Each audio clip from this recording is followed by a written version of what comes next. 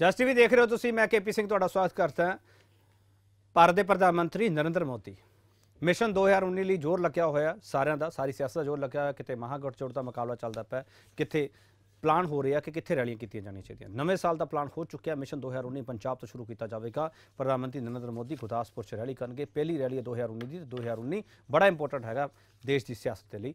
ਤੇ ਅਸੀਂ ਇੱਕੋ ਸਵਾਲ ਪੁੱਛਾਂਗੇ। ਪੰਜਾਬ 2019 ਲਈ ਲਾਂਚ ਪੈਡ ਕਿਉਂ?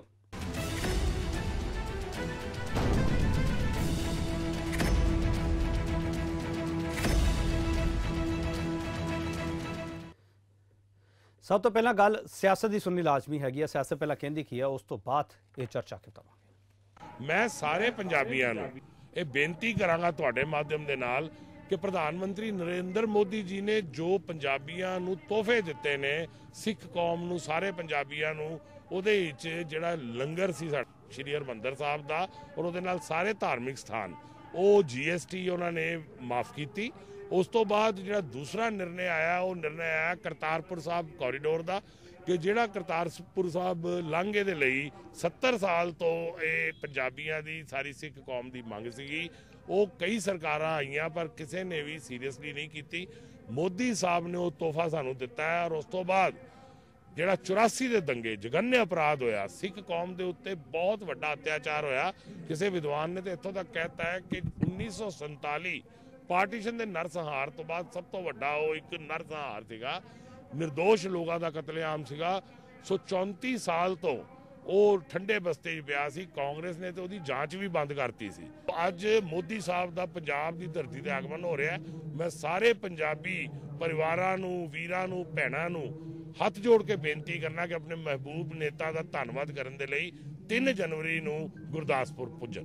ਦੇਖੋ ਮੋਦੀ ਸਾਹਿਬ ਦੀ ਜਿਹੜੀ ਰੈਲੀ ਆ ਗੁਰਦਾਸ ਅ, ਗੁਰਦਾਸਪੁਰ ਦੇ ਵਿੱਚ ਉਹ ਹੁਣ ਰੈਲੀ ਨਹੀਂ ਹੁਣ ਫਲॉप ਰੈਲੀ ਹੋਊਗੀ ਕਿਉਂਕਿ ਮੋਦੀ ਸਾਹਿਬ ਨੇ ਵੱਡੇ ਵੱਡੇ ਵਾਅਦੇ ਕੀਤੇ ਸੀਗੇ ਦੇਸ਼ ਵਾਸੀਆਂ ਨਾਲ ਕਿਹਾ ਸੀ ਹਰ ਘਰ 'ਚ 15 ਲੱਖ ਰੁਪਈਆ ਆਊਗਾ ਹਾਂ 2 ਕਰੋੜ ਨੌਕਰੀਆਂ ਹਰੇਕ ਸਾਲ ਜਿਹੜੀਆਂ ਹੈ ਜਨਰੇਟ ਕਰਾਂਗੇ ਨਵੀਆਂ ਪੈਦਾ ਕਰਾਂਗੇ। ਮੈਂ ਸਮਝਦਾ ਮੋਦੀ ਸਾਹਿਬ ਟੋਟਲ ਬਕਵਾਸ ਪ੍ਰਧਾਨ ਮੰਤਰੀ ਹੋਏ ਨੇ ਪੰਜਾਬ ਹਿੰਦੁਸਤਾਨ ਦੇ ਔਰ ਬਿਲਕੁਲ ਫੇਲ ਪ੍ਰਧਾਨ ਮੰਤਰੀ ਦੇਸ਼ 'ਚ ਸਵਾਲ ਕਿਉਂ ਪੁੱਛਾਂਗੇ? ਸਵਾਲ ਅਸੀਂ ਇਹ ਪੁੱਛਾਂਗੇ ਪ੍ਰਧਾਨ ਮੰਤਰੀ ਮੋਦੀ ਲਈ ਮਿਸ਼ਨ 2019 ਦਾ ਆਗਾਜ਼ ਪੰਜਾਬ ਦੀ ਕਮਾਂਤਰੀ ਸਰਹੱਦ ਤੋਂ ਕਰਨ ਤੇ ਮਾਇਨੇ ਕੀ ਹੈ ਕਿ ਇਸ ਸਵਾਲ ਤੇ ਅਸੀਂ ਬਹਿਸ ਕਰਾਂਗੇ। ਖਾਸ ਪੈਨਲ ਸਾਡੇ ਨਾਲ ਸਟੂਡੀਓ 'ਚ ਮੌਜੂਦ ਹੈਗਾ, ਉਹਨਾਂ ਦਾ ਤਾਰਫ ਕਰਾ ਰਹੇ ਹਾਂ। ਮੁਹੰਮਦ ਖਾਲਿਦ ਪੋਲੀਟੀਕਲ ਐਨਲਿਸਟ ਨੇ, ਸਿਆਸੀ ਜਾਣਕਾਰ ਨੇ। ਖਾਲਿਦ ਸਾਹਿਬ ਦਾ ਲੰਬਾ ਤਜਰਬਾ ਹੈਗਾ। ਇਹ ਰਾਜਨੀਤੀ ਸ਼ਾਸਤਰ ਦੇ ਬੱਚੇ ਵੀ, ਵਿਦਿਆਰਥੀ ਵੀ ਪੜਾਉਂਦੇ ਹੈਗੇ ਆ। ਇਹਨਾਂ ਨੂੰ ਜ਼ਿਆਦਾ ਪਤਾ ਹੈਗਾ ਕਿ ਰਾਜਨੀਤੀ ਸ਼ਾਸਤਰ ਪੜ੍ਹਾਈ ਕੀ ਜਾਂਦੀ ਹੈਗੀ ਆ ਤੇ ਜਦੋਂ ਮੈਦਾਨ ਵਿੱਚ ਆਉਂਦਾ ਰਾਜਨੀਤੀ ਸ਼ਾਸਤਰ ਤੇ ਫਿਰ ਉਹ ਵਰਤਿਆ ਕਿਹੜਾ ਜਾਂਦਾ ਹੈਗਾ। ਬਹੁਤ ਧੰਨਵਾਦ ਮੁਹੰਮਦ ਖਾਲਿਦ, ਤੁਸੀਂ ਆਏ ਹੋ। Doctor major A P Sanwaria Bharatiya Janata Party ਦੇ ਬੁਲਾਰੇ ਨੇ। ਅ, ਕੁਮਰਵਜੀਤ ਸਿੰਘ ਰਠੌਰ ਕਾਂਗਰਸ ਦੇ ਬੁਲਾਰੇ ਨੇ। ਤੁਹਾਡਾ ਵੀ ਸਵਾਗਤ ਕਰਦੇ ਹਾਂ ਅਸੀਂ। ਅਮਰਜੀਤ ਸਿੰਘ ਧਾਰਨੀ ਸ਼੍ਰੋਮਣੀ ਅਕਾਲੀ ਦਲ ਦੇ ਬੁਲਾਰੇ ਨੇ। ਧਾਰਨੀ ਸਾਹਿਬ ਤੁਹਾਡਾ ਬਹੁਤ ਸਵਾਗਤ ਹੈ। ਜਸਤੇਜ ਸਿੰਘ ਆਮ ਆਦਮੀ ਪਾਰਟੀ ਤੋਂ ਨੇ। ਜਸਤੇਜ ਸਿੰਘ ਤੁਹਾਡਾ ਬਹੁਤ ਸਵਾਗਤ ਹੈ। ਇਹ ਆਮ ਆਦਮੀ ਪਾਰਟੀ ਦੇ ਬੁਲਾਰੇ ਨੇ। ਸਭ ਤੋਂ ਪਹਿਲਾ ਸਵਾਲ ਜਸਤੇਜ ਤੁਹਾਨੂੰ ਹੀ ਕਰਨਾ ਬੰਦਾ ਤੁਹਾਡੇ ਮੈਂ ਲੀਡਰ ਦੀ ਗੱਲ ਸੁਣ ਰਿਹਾ ਸੀ ਉਹਨੇ। ਉਹਨਾਂ ਨੇ ਜਿਹੜੇ ਸ਼ਬਦ ਵਰਤੇ ਸ਼ਾਇਦ ਤੁਹਾਨੂੰ ਵੀ ਪਸੰਦ ਨਾ ਆਏ ਹੋਣ। ਕਿ ਪਸੰਦ ਹੈ? ਨਹੀਂ ਦੇਖੋ ਸੱਚ ਥੋੜਾ ਕੌੜਾ ਹੋਊਗਾ। ਬਟ ਜੋ ਗੱਲ ਹੈ ਕਿ ਭਾਵੇਂ ਅਸੀਂ ਇਹਨਾਂ ਦੇ ਵਾਅਦੇ ਲੈ ਲਈਏ, ਚੁਣਾਵੀ ਵਾਅਦੇ ਜਿਹੜੇ 2014 ਸੀਗੇ 2 ਕਰੋੜ ਜੌਬਸ ਜਨਰੇਟ ਕਰਨ ਦੇ, ਜਾਂ ਕੋਈ ਵੀ ਵਾਅਦਾ 15 ਲੱਖ ਦਾ ਵੀ ਵਾਅਦਾ, ਜੋ ਮਰਜ਼ੀ, ਉਹ ਤਾਂ ਖੈਰ ਆਪ ਹੀ ਕਹਿ ਗਏ ਕਿ ਕਿ ਜੁਮਲਾ ਹੈ। ਕਿਸੇ ਵੀ ਵਾਅਦੇ ਦੇ ਉੱਪਰ ਡਿਵੈਲਪਮੈਂਟ ਦੇ ਏਜੰਡੇ ਦੇ ਉੱਪਰ ਇਹਨਾਂ ਦੀ ਸਰਕਾਰ ਬਣੀ ਸੀਗੀ ਤੇ ਅੱਜ ਦੀ ਡੇਟ ਦੇ ਵਿੱਚ ਤੁਸੀਂ ਕੋਈ ਵੀ ਇਹਨਾਂ ਦਾ ਦੇਖ ਲਓ, ਜਿਹੜਾ ਮੇਨ ਆਗੂ ਹੈ ਇਹਨਾਂ ਦਾ ਕੋਈ ਵੀ ਅੱਜ ਡਿਵੈਲਪਮੈਂਟ ਦੀ ਗੱਲ ਨਹੀਂ ਕਰਦਾ। ਅੱਜ ਇਹਨਾਂ ਕੋਲ ਦੋ ਕੀ ਗੱਲਾਂ ਹੈਗੀਆਂ ਰਾਮ ਮੰਦਿਰ ਤੇ ਗਾਂ ਦੇ ਉੱਪਰ ਪੋਲਿਟਿਕਸ ਜਾਂ ਕਰਤਾਰਪੁਰ ਸਾਹਿਬ ਦਾ ਲਾਂਘਾ ਖੁੱਲਣ ਤੇ ਜਿਹੜੀ ਪੋਲਿਟਿਕਸ ਇਹਨਾਂ ਨੇ ਕੀਤੀ ਹੈ ਜਾਂ ਉਹਦੇ ਉੱਪਰ ਪੋਲਿਟਿਕਸ ਪੰਜਾਬ ਕੀ ਕਰਨਾ ਰਿਹਾ? ਤੁਸੀਂ ਕਹ ਰਹੇ ਫਲॉप ਰੈਲੀ ਹੋ ਜਾਊਗੀ ਪੰਜਾਬ ਕੀ ਕਰਨਾ ਰਹੇ ਮੋਦੀ ਸਾਹਿਬ? ਪੰਜਾਬ ਦੇ ਵਿੱਚ ਦੇਖੋ ਗੁਰਦਾਸਪੁਰ ਇਹਨਾਂ ਨੇ ਜੇ ਚੂਜ਼ ਕੀਤਾ ਹੈ। ਠੀਕ ਹੈ ਨਾ? ਕਿਉਂਕਿ ਪਹਿਲਾਂ ਭਾਜਪਾ ਦਾ ਗੜ ਰਿਹਾ ਤੇ ਐਤਕੀ ਇਹ ਲੋਕ ਹਾਰ ਗਏ। ਮੈਂ ਇਹ ਨਹੀਂ ਕਹਿੰਦਾ ਕਿ ਅਸੀਂ ਬਹੁਤ ਵੋਟਾਂ ਲੈ ਗਏ ਠੀਕ ਹੈ ਅਸੀਂ ਵੀ ਨਹੀਂ ਲੈ ਕੇ ਗਏ। ਬਟ ਜੋ ਜਿਸ ਡੰਕੇ ਦੀ ਚੋਟ ਤੇ ਕਹਿ ਰਹੇ ਸੀਗੇ ਨਾ ਕਿ ਵੀ ਗੁਰਦਾਸਪੁਰ ਜਿੱਤਣਗੇ ਠੀਕ ਹੈ ਨਾ ਅਸੀਂ ਕਦੇ ਵੀ ਨਹੀਂ ਇਹ ਕਹਿੰਦੇ ਸੀ ਅਸੀਂ ਕਹਿੰਦੇ ਸੀ ਅਸੀਂ ਲੜਾਂਗੇ ਇੱਕ ਮੁਕਾਬਲਾ ਦੇਵਾਂਗੇ। ਉੱਥੇ ਵੀ ਇਹਨਾਂ ਨੂੰ ਮੂੰਹ ਦੀ ਖਾਣੀ ਪਈ ਇਹਨਾਂ ਦੇ 1.5 ਲੱਖ 2 ਲੱਖ ਵੋਟ ਉੱਥੋਂ ਗਾਇਬ ਹੋ ਗਈ ਬਿਲਕੁਲ ਸਿੱਧੇ ਤੌਰ ਤੇ। ਫਿਰ ਇਹਨਾਂ ਦੇ ਭਾਵੇਂ ਜੀਐਸਟੀ ਲੈ ਲਈਏ ਦੇਖੋ ਇਹਨਾਂ ਨੇ ਜਿਹੜੀ ਰਾਜਨੀਤੀ ਕੀਤੀ ਹੈ ਨਾ ਉਹ ਸਿਆਸੀ ਲਾਹੇ ਦੀ ਰਾਜ- ਰਾਜਨੀਤੀ ਕੀਤੀ ਹੈ। ਇੱਥੇ ਲਾਹਾ ਲੈਣ ਵਾਲੇ ਪੰਜਾਬ 'ਚ? ਬਿਲਕੁਲ 110% ਮੇਰੀ ਗੱਲ ਸੁਣ। ਤੁਸੀਂ ਮੈਨੂੰ ਇੱਕ ਗੱਲ ਦੱਸੋ ਲਾਂਗਾ ਅਸੀਂ ਦਿੱਤਾ ਹੈ ਜਾਂ ਲਾਂਗਾ ਪਾਕਿਸਤਾਨ ਨੇ ਦਿੱਤਾ ਲਾਂਗਾ ਤਾਂ ਪਾਕਿਸਤਾਨ ਨੇ ਦਿੱਤਾ ਨਾ ਇਹ ਤਾਂ ਸ਼ਰਮਨਾਕ ਗੱਲ ਹੈ ਕਿ ਹਜੇ ਤੱਕ ਦੀਆਂ ਸਰਕਾਰਾਂ ਨੇ ਉੱਥੇ ਤੱਕ ਇੱਕ ਪ੍ਰੋਪਰ ਪੈਸੇਜ ਨਹੀਂ ਬਣਾਇਆ ਹੋਇਆ ਸੀਗਾ। ਤੁਹਾਨੂੰ ਲੱਗਦਾ ਲਾਂਘੇ ਵਾਸਤੇ ਆ ਰਹੇ ਪ੍ਰਧਾਨ ਮੰਤਰੀ ਸਾਹਿਬ ਇੱਥੇ? ਕ੍ਰੈਡਿਟ ਵਾਸਤੇ ਸਿਆਸੀ। ਲਾਹਵਾ। ਇੱਕ। ਇੱਕ ਦੂਜਾ ਇਹ ਕਿ ਜਿਹੜੇ 84 ਦੇ ਦੰਗਿਆਂ ਦੇ ਵਿੱਚ ਉਹਨੂੰ ਸੱਜਣ ਕੁਮਾਰ ਨੂੰ ਕਤਲੇਆਮ ਕੋ ਤਾਂ ਜ਼ਿਆਦਾ ਬਿਹਤਰ ਹੈ ਨਸਲ ਕੁਸ਼ੀ ਕੋ ਜ਼ਿਆਦਾ ਸੌਰੀ ਬਿਹਤਰ ਹੈ। Sorry yes genocide I apologise ਬਿਲਕੁਲ ਠੀਕ ਹੈ। ਉਹਦੇ ਉਹਦੇ ਚ ਇਹਨਾਂ ਦਾ ਕੋਈ ਲੈਣਾ ਦੇਣਾ ਨਹੀਂ। ਮੈਂ ਤੁਹਾਨੂੰ ਇੱਕ ਛੋਟਾ ਜਿਹਾ ਐਗਜ਼ਾਮਪਲ ਦੇ ਦਿੰਦਾ। ਜਗਦੀਸ਼ ਟੈਟਲਰ ਨੂੰ ਤੀਜੀ ਵਾਰ ਕਲੀਨ ਚਿਟ ਮਿਲੀ ਹੈ ਸੀਬੀਆਈ ਤੋਂ ਉਹ ਮਿਲੀ ਹੈ ਇਹਨਾਂ ਦੀ ਸਰਕਾਰ ਆਉਣ ਤੋਂ ਬਾਅਦ। ਉਸ ਤੋਂ ਬਾਅਦ ਇਹਨਾਂ ਨੇ ਜਿਹੜੀ ਸਿਟ ਫਾਰਮ ਕੀਤੀ ਉਹ ਸਿਟ ਨੇ 200 ਕੇਸਿਸ ਦੀ ਕੋਖ ਕੀਤੀ ਇਨਵੈਸਟੀਗੇਸ਼ਨ ਠੀਕ ਹੈ ਪਹਿਲੀ ਗੱਲ ਤਾਂ ਆਮ ਆਦਮੀ ਪਾਰਟੀ ਨੇ ਸਿਟ ਫਾਰਮ ਕੀਤੀ ਸੀ ਇਹਨਾਂ ਨੇ ਆਮ ਆਦਮੀ ਪਾਰਟੀ ਨੇ ਜਿਸ ਦਿਨ ਸਹੁੰ ਚੱਕਣੀ ਸੀਗੀ ਉਸ ਤੋਂ ਇੱਕ ਦਿਨ ਪਹਿਲਾਂ ਆਮ ਆਦਮੀ ਪਾਰਟੀ ਦੀ ਨੋਟੀਫਿਕੇਸ਼ਨ ਕੈਨਸਲ ਕਰਕੇ ਮਤਲਬ ਕੁਝ ਇਹਨਾਂ ਨੇ ਆਪਣੀ ਸਿਟ ਫਾਰਮ ਕਰਤੀ ਸੀਗੀ। ਆਪਣੀ ਸਿਟ ਤੁਹਾਨੂੰ ਲੱਗਦਾ ਕ੍ਰੈਡਿਟ ਤੁਹਾਨੂੰ ਮਿਲਣਾ ਚਾਹੀਦਾ? ਤੁਸੀਂ ਕ੍ਰੈਡਿਟ ਸੁਣ ਤਾਂ ਲਓ ਸਰ ਪਲੀਜ਼ ਇਦਾਂ ਤੁਸੀਂ ਜੋ ਮਰਜ਼ੀ ਮੇਰੇ ਤੇ ਕਹੀ ਜੋ ਨਹੀਂ ਨਹੀਂ ਨਹੀਂ। ਮਸਲਾ ਇਹੀ ਹੈ ਨਾ ਕਿਉਂਕਿ ਜੇ ਤੁਸੀਂ 84 ਦੀ ਗੱਲ ਕਰਦੇ ਹੋ ਫਿਰ ਕ੍ਰੈਡਿਟ ਬਾਹਰ ਆ ਜਾਂਦੀ ਹੈ ਉੱਥੇ। ਲੋਕਾਂ ਨੂੰ ਪਤਾ ਤਾਂ ਲੱਗਣ ਤੋਂ ਜੋ ਮੈਂ ਕਹਿਣਾ ਚਾਹੁੰਦਾ। ਹਾਂ। ਇਹਨਾਂ ਨੇ ਜਿਹੜੀ ਸਿਟ ਫਾਰਮ ਕੀਤੀ 200 ਕੇਸਾਂ ਦੀ ਇਹਨਾਂ ਨੇ ਕੋਕ ਕੀਤੀ 200 ਚੋਂ ਇਹਨਾਂ ਨੇ ਫਿਰ ਸਾਰੇ ਕਲੋਜ਼ ਕਰਤੇ ਸਿਰਫ 12 ਕੇਸਿਸ ਇਹਨਾਂ ਨੇ ਰੀਓਪਨ ਕੀਤੇ। ਠੀਕ ਹੈ। ਫਿਰ ਕੀ ਫਾਇਦਾ ਸੀਗਾ? ਹੁਣ ਇਹ ਸਿਆਸੀ ਲਾਹਾ ਕੇ ਦੋ ਪੁਆਇੰਟਾਂ ਤੇ ਲੈਣਾ ਚਾਹੁੰਦੇ ਕਰਤਾਰਪੁਰ ਲਾਂਘੇ ਤੇ। ਐਂਡ ਦੂਜੇ 84 ਦੇ ਜਿਹੜਾ ਸੱਜਣ ਕੁਮਾਰ ਨੂੰ ਸਜ਼ਾ ਹੋਈ ਹਾਲਾਂਕਿ ਉਹ ਅਪੀਲ ਉਹ ਕੋਰਟ ਨੇ ਕੀਤੀ ਹੈ ਇਹਨਾਂ ਦਾ ਕੋਈ ਰੋਲ ਨਹੀਂ ਉਹਦੇ 'ਚ। ਹਾਈ ਕੋਰਟ ਕੀ ਕਰਦਾ? ਹਾਈ ਕੋਰਟ ਅਪੀਲ ਸੁਣਦਾ ਥੱਲੇ ਜੋ ਐਵੀਡੈਂਸ ਹੁੰਦਾ ਉਸੇ ਬੇਸ ਤੇ। ਕੋਈ ਉਹਦੇ 'ਚ ਐਕਸਟਰਾ ਐਵੀਡੈਂਸ ਨਹੀਂ ਐਡ ਹੁੰਦਾ। ਸੋ ਉਸੇ ਚਲਾਨ ਦੇ ਬੇਸ ਤੇ ਉਸੇ ਐਵੀਡੈਂਸ ਦੇ ਬੇਸ ਤੇ ਹਾਈ ਕੋਰਟ ਨੇ ਕਨਵਿਕਸ਼ਨ ਕੀਤੀ ਹੈ। ਪਰ ਜੋ ਇਹਨਾਂ ਦੇ ਭਾਸ਼ਣ ਆ ਰਹੇ ਉਹ ਭਾਸ਼ਣ ਕੀ ਆ ਰਹੇ ਆ ਅਸੀਂ ਤਾਂ ਕਦੀ ਸੁਪਨੇ 'ਚ ਨਹੀਂ ਸੋਚਿਆ ਸੀਗਾ ਵੀ ਕਾਂਗਰਸ ਦੇ ਕਿਸੇ ਉਸ ਬੰਦੇ ਨੂੰ ਕਿਸੇ ਵੀ ਜਿਨ੍ਹਾਂ ਨੇ ਉਹ ਕੀਤਾ ਜੈਨੋਸਾਈਡ ਠੀਕ ਹੈ ਠੀਕ ਹੈ। ਤੁਹਾਡੇ ਤੁਹਾਡੇ ਪੁਆਇੰਟ ਤੁਹਾਡੇ ਤੁਹਾਡੇ ਪੁਆਇੰਟ ਇਸ਼ਾਰਾ ਆ ਕਰ ਰਹੇ ਗਏ ਆ ਤੁਹਾਡੇ ਪੁਆਇੰਟ ਆ ਗਏ। ਮੈਂ ਬਹੁਤ ਲੰਬਾ ਟਾਈਮ ਦਿੱਤਾ ਤੁਹਾਨੂੰ। ਤੁਹਾਡੇ ਪੁਆਇੰਟ ਆ ਗਏ। ਨਹੀਂ ਤੁਸੀਂ ਥੋੜਾ ਦੇ ਦਿਆ ਕਰੋ ਕੋਈ ਐਜੀ ਸੁਨਵਾਰੀ ਸਾਹਿਬ ਸੁਨਵਾਰੀ ਸਾਹਿਬ ਸੁਨਵਾਰੀ ਸਾਹਿਬ ਸੁਨਵਾਰੀ ਸਾਹਿਬ ਮੋਦੀ ਸਾਹਿਬ ਨੇ ਪੰਜਾਬ ਕਿਉਂ ਚੁਣਿਆ? ਇਸ ਤੋਂ ਪਹਿਲੇ ਕਿ ਵੀ ਜੀ ਮੈਂ ਆਪ ਜੀ ਦੇ ਸਵਾਲ ਤੇ ਆਉਂ ਮੈਂ ਕਹਿਣਾ ਚਾਹੁੰਦਾ ਕਿ ਮੈਂ ਹੁਣੇ ਸੁਣ ਰਿਹਾ ਸੀ ਆਪ ਦੇ ਬੁਲਾਰੇ ਨੂੰ ਵੀ ਔਰ ਆਪ ਦੇ ਲੀਡਰ ਨੂੰ ਵੀ। ਆਪ ਜੀ ਨੇ ਸਵਾਲ ਪੁੱਛਿਆ ਸੀ ਕਿ ਤੁਹਾਨੂੰ ਇਹ ਪਸੰਦ ਆਈ ਲੈਂਗੁਏਜ ਪਰ ਚਲੋ ਪਸੰਦ ਤਾਂ ਕਿਸ ਪੂਰੇ 130 ਕਰੋੜ ਲੋਕ ਭਾਰਤ ਵਾਸੀਆਂ ਨੂੰ ਨਹੀਂ ਆਊਗੀ। ਪਰ ਕੀ ਕਰੀਏ? ਇਹਨਾਂ ਦੇ ਤੇ ਡੀਐਨਏ ਵਿੱਚ ਇਦਾਂ ਦਾ ਬੋਲਣ ਦਾ ਮਾਮਲਾ ਹੈ। ਸੁਨਵਾਰੇ ਸਾਹਿਬ ਸੁਨਵਾਰੇ ਸਾਹਿਬ ਯਾਦ ਕਰੋ ਜੀਐਸਟੀ ਤੇ ਜਦੋਂ ਪ੍ਰਧਾਨ ਮੰਤਰੀ ਬਣਨ ਤੋਂ ਪਹਿਲਾਂ ਮੋਦੀ ਸਾਹਿਬ ਬਿਆਨ ਦਿੰਦੇ ਸੀਗੇ। ਰਾਹੁਲ ਰਾਹੁਲ ਗਾਂਧੀ ਦਾ ਬਿਆਨ ਵੀ ਸੁਣ ਲਓ ਰਾਹੁਲ ਗਾਂਧੀ ਸਾਹਿਬ ਨੇ ਕੀ ਕਿਹਾ ਉਸ ਤੋਂ ਬਾਅਦ?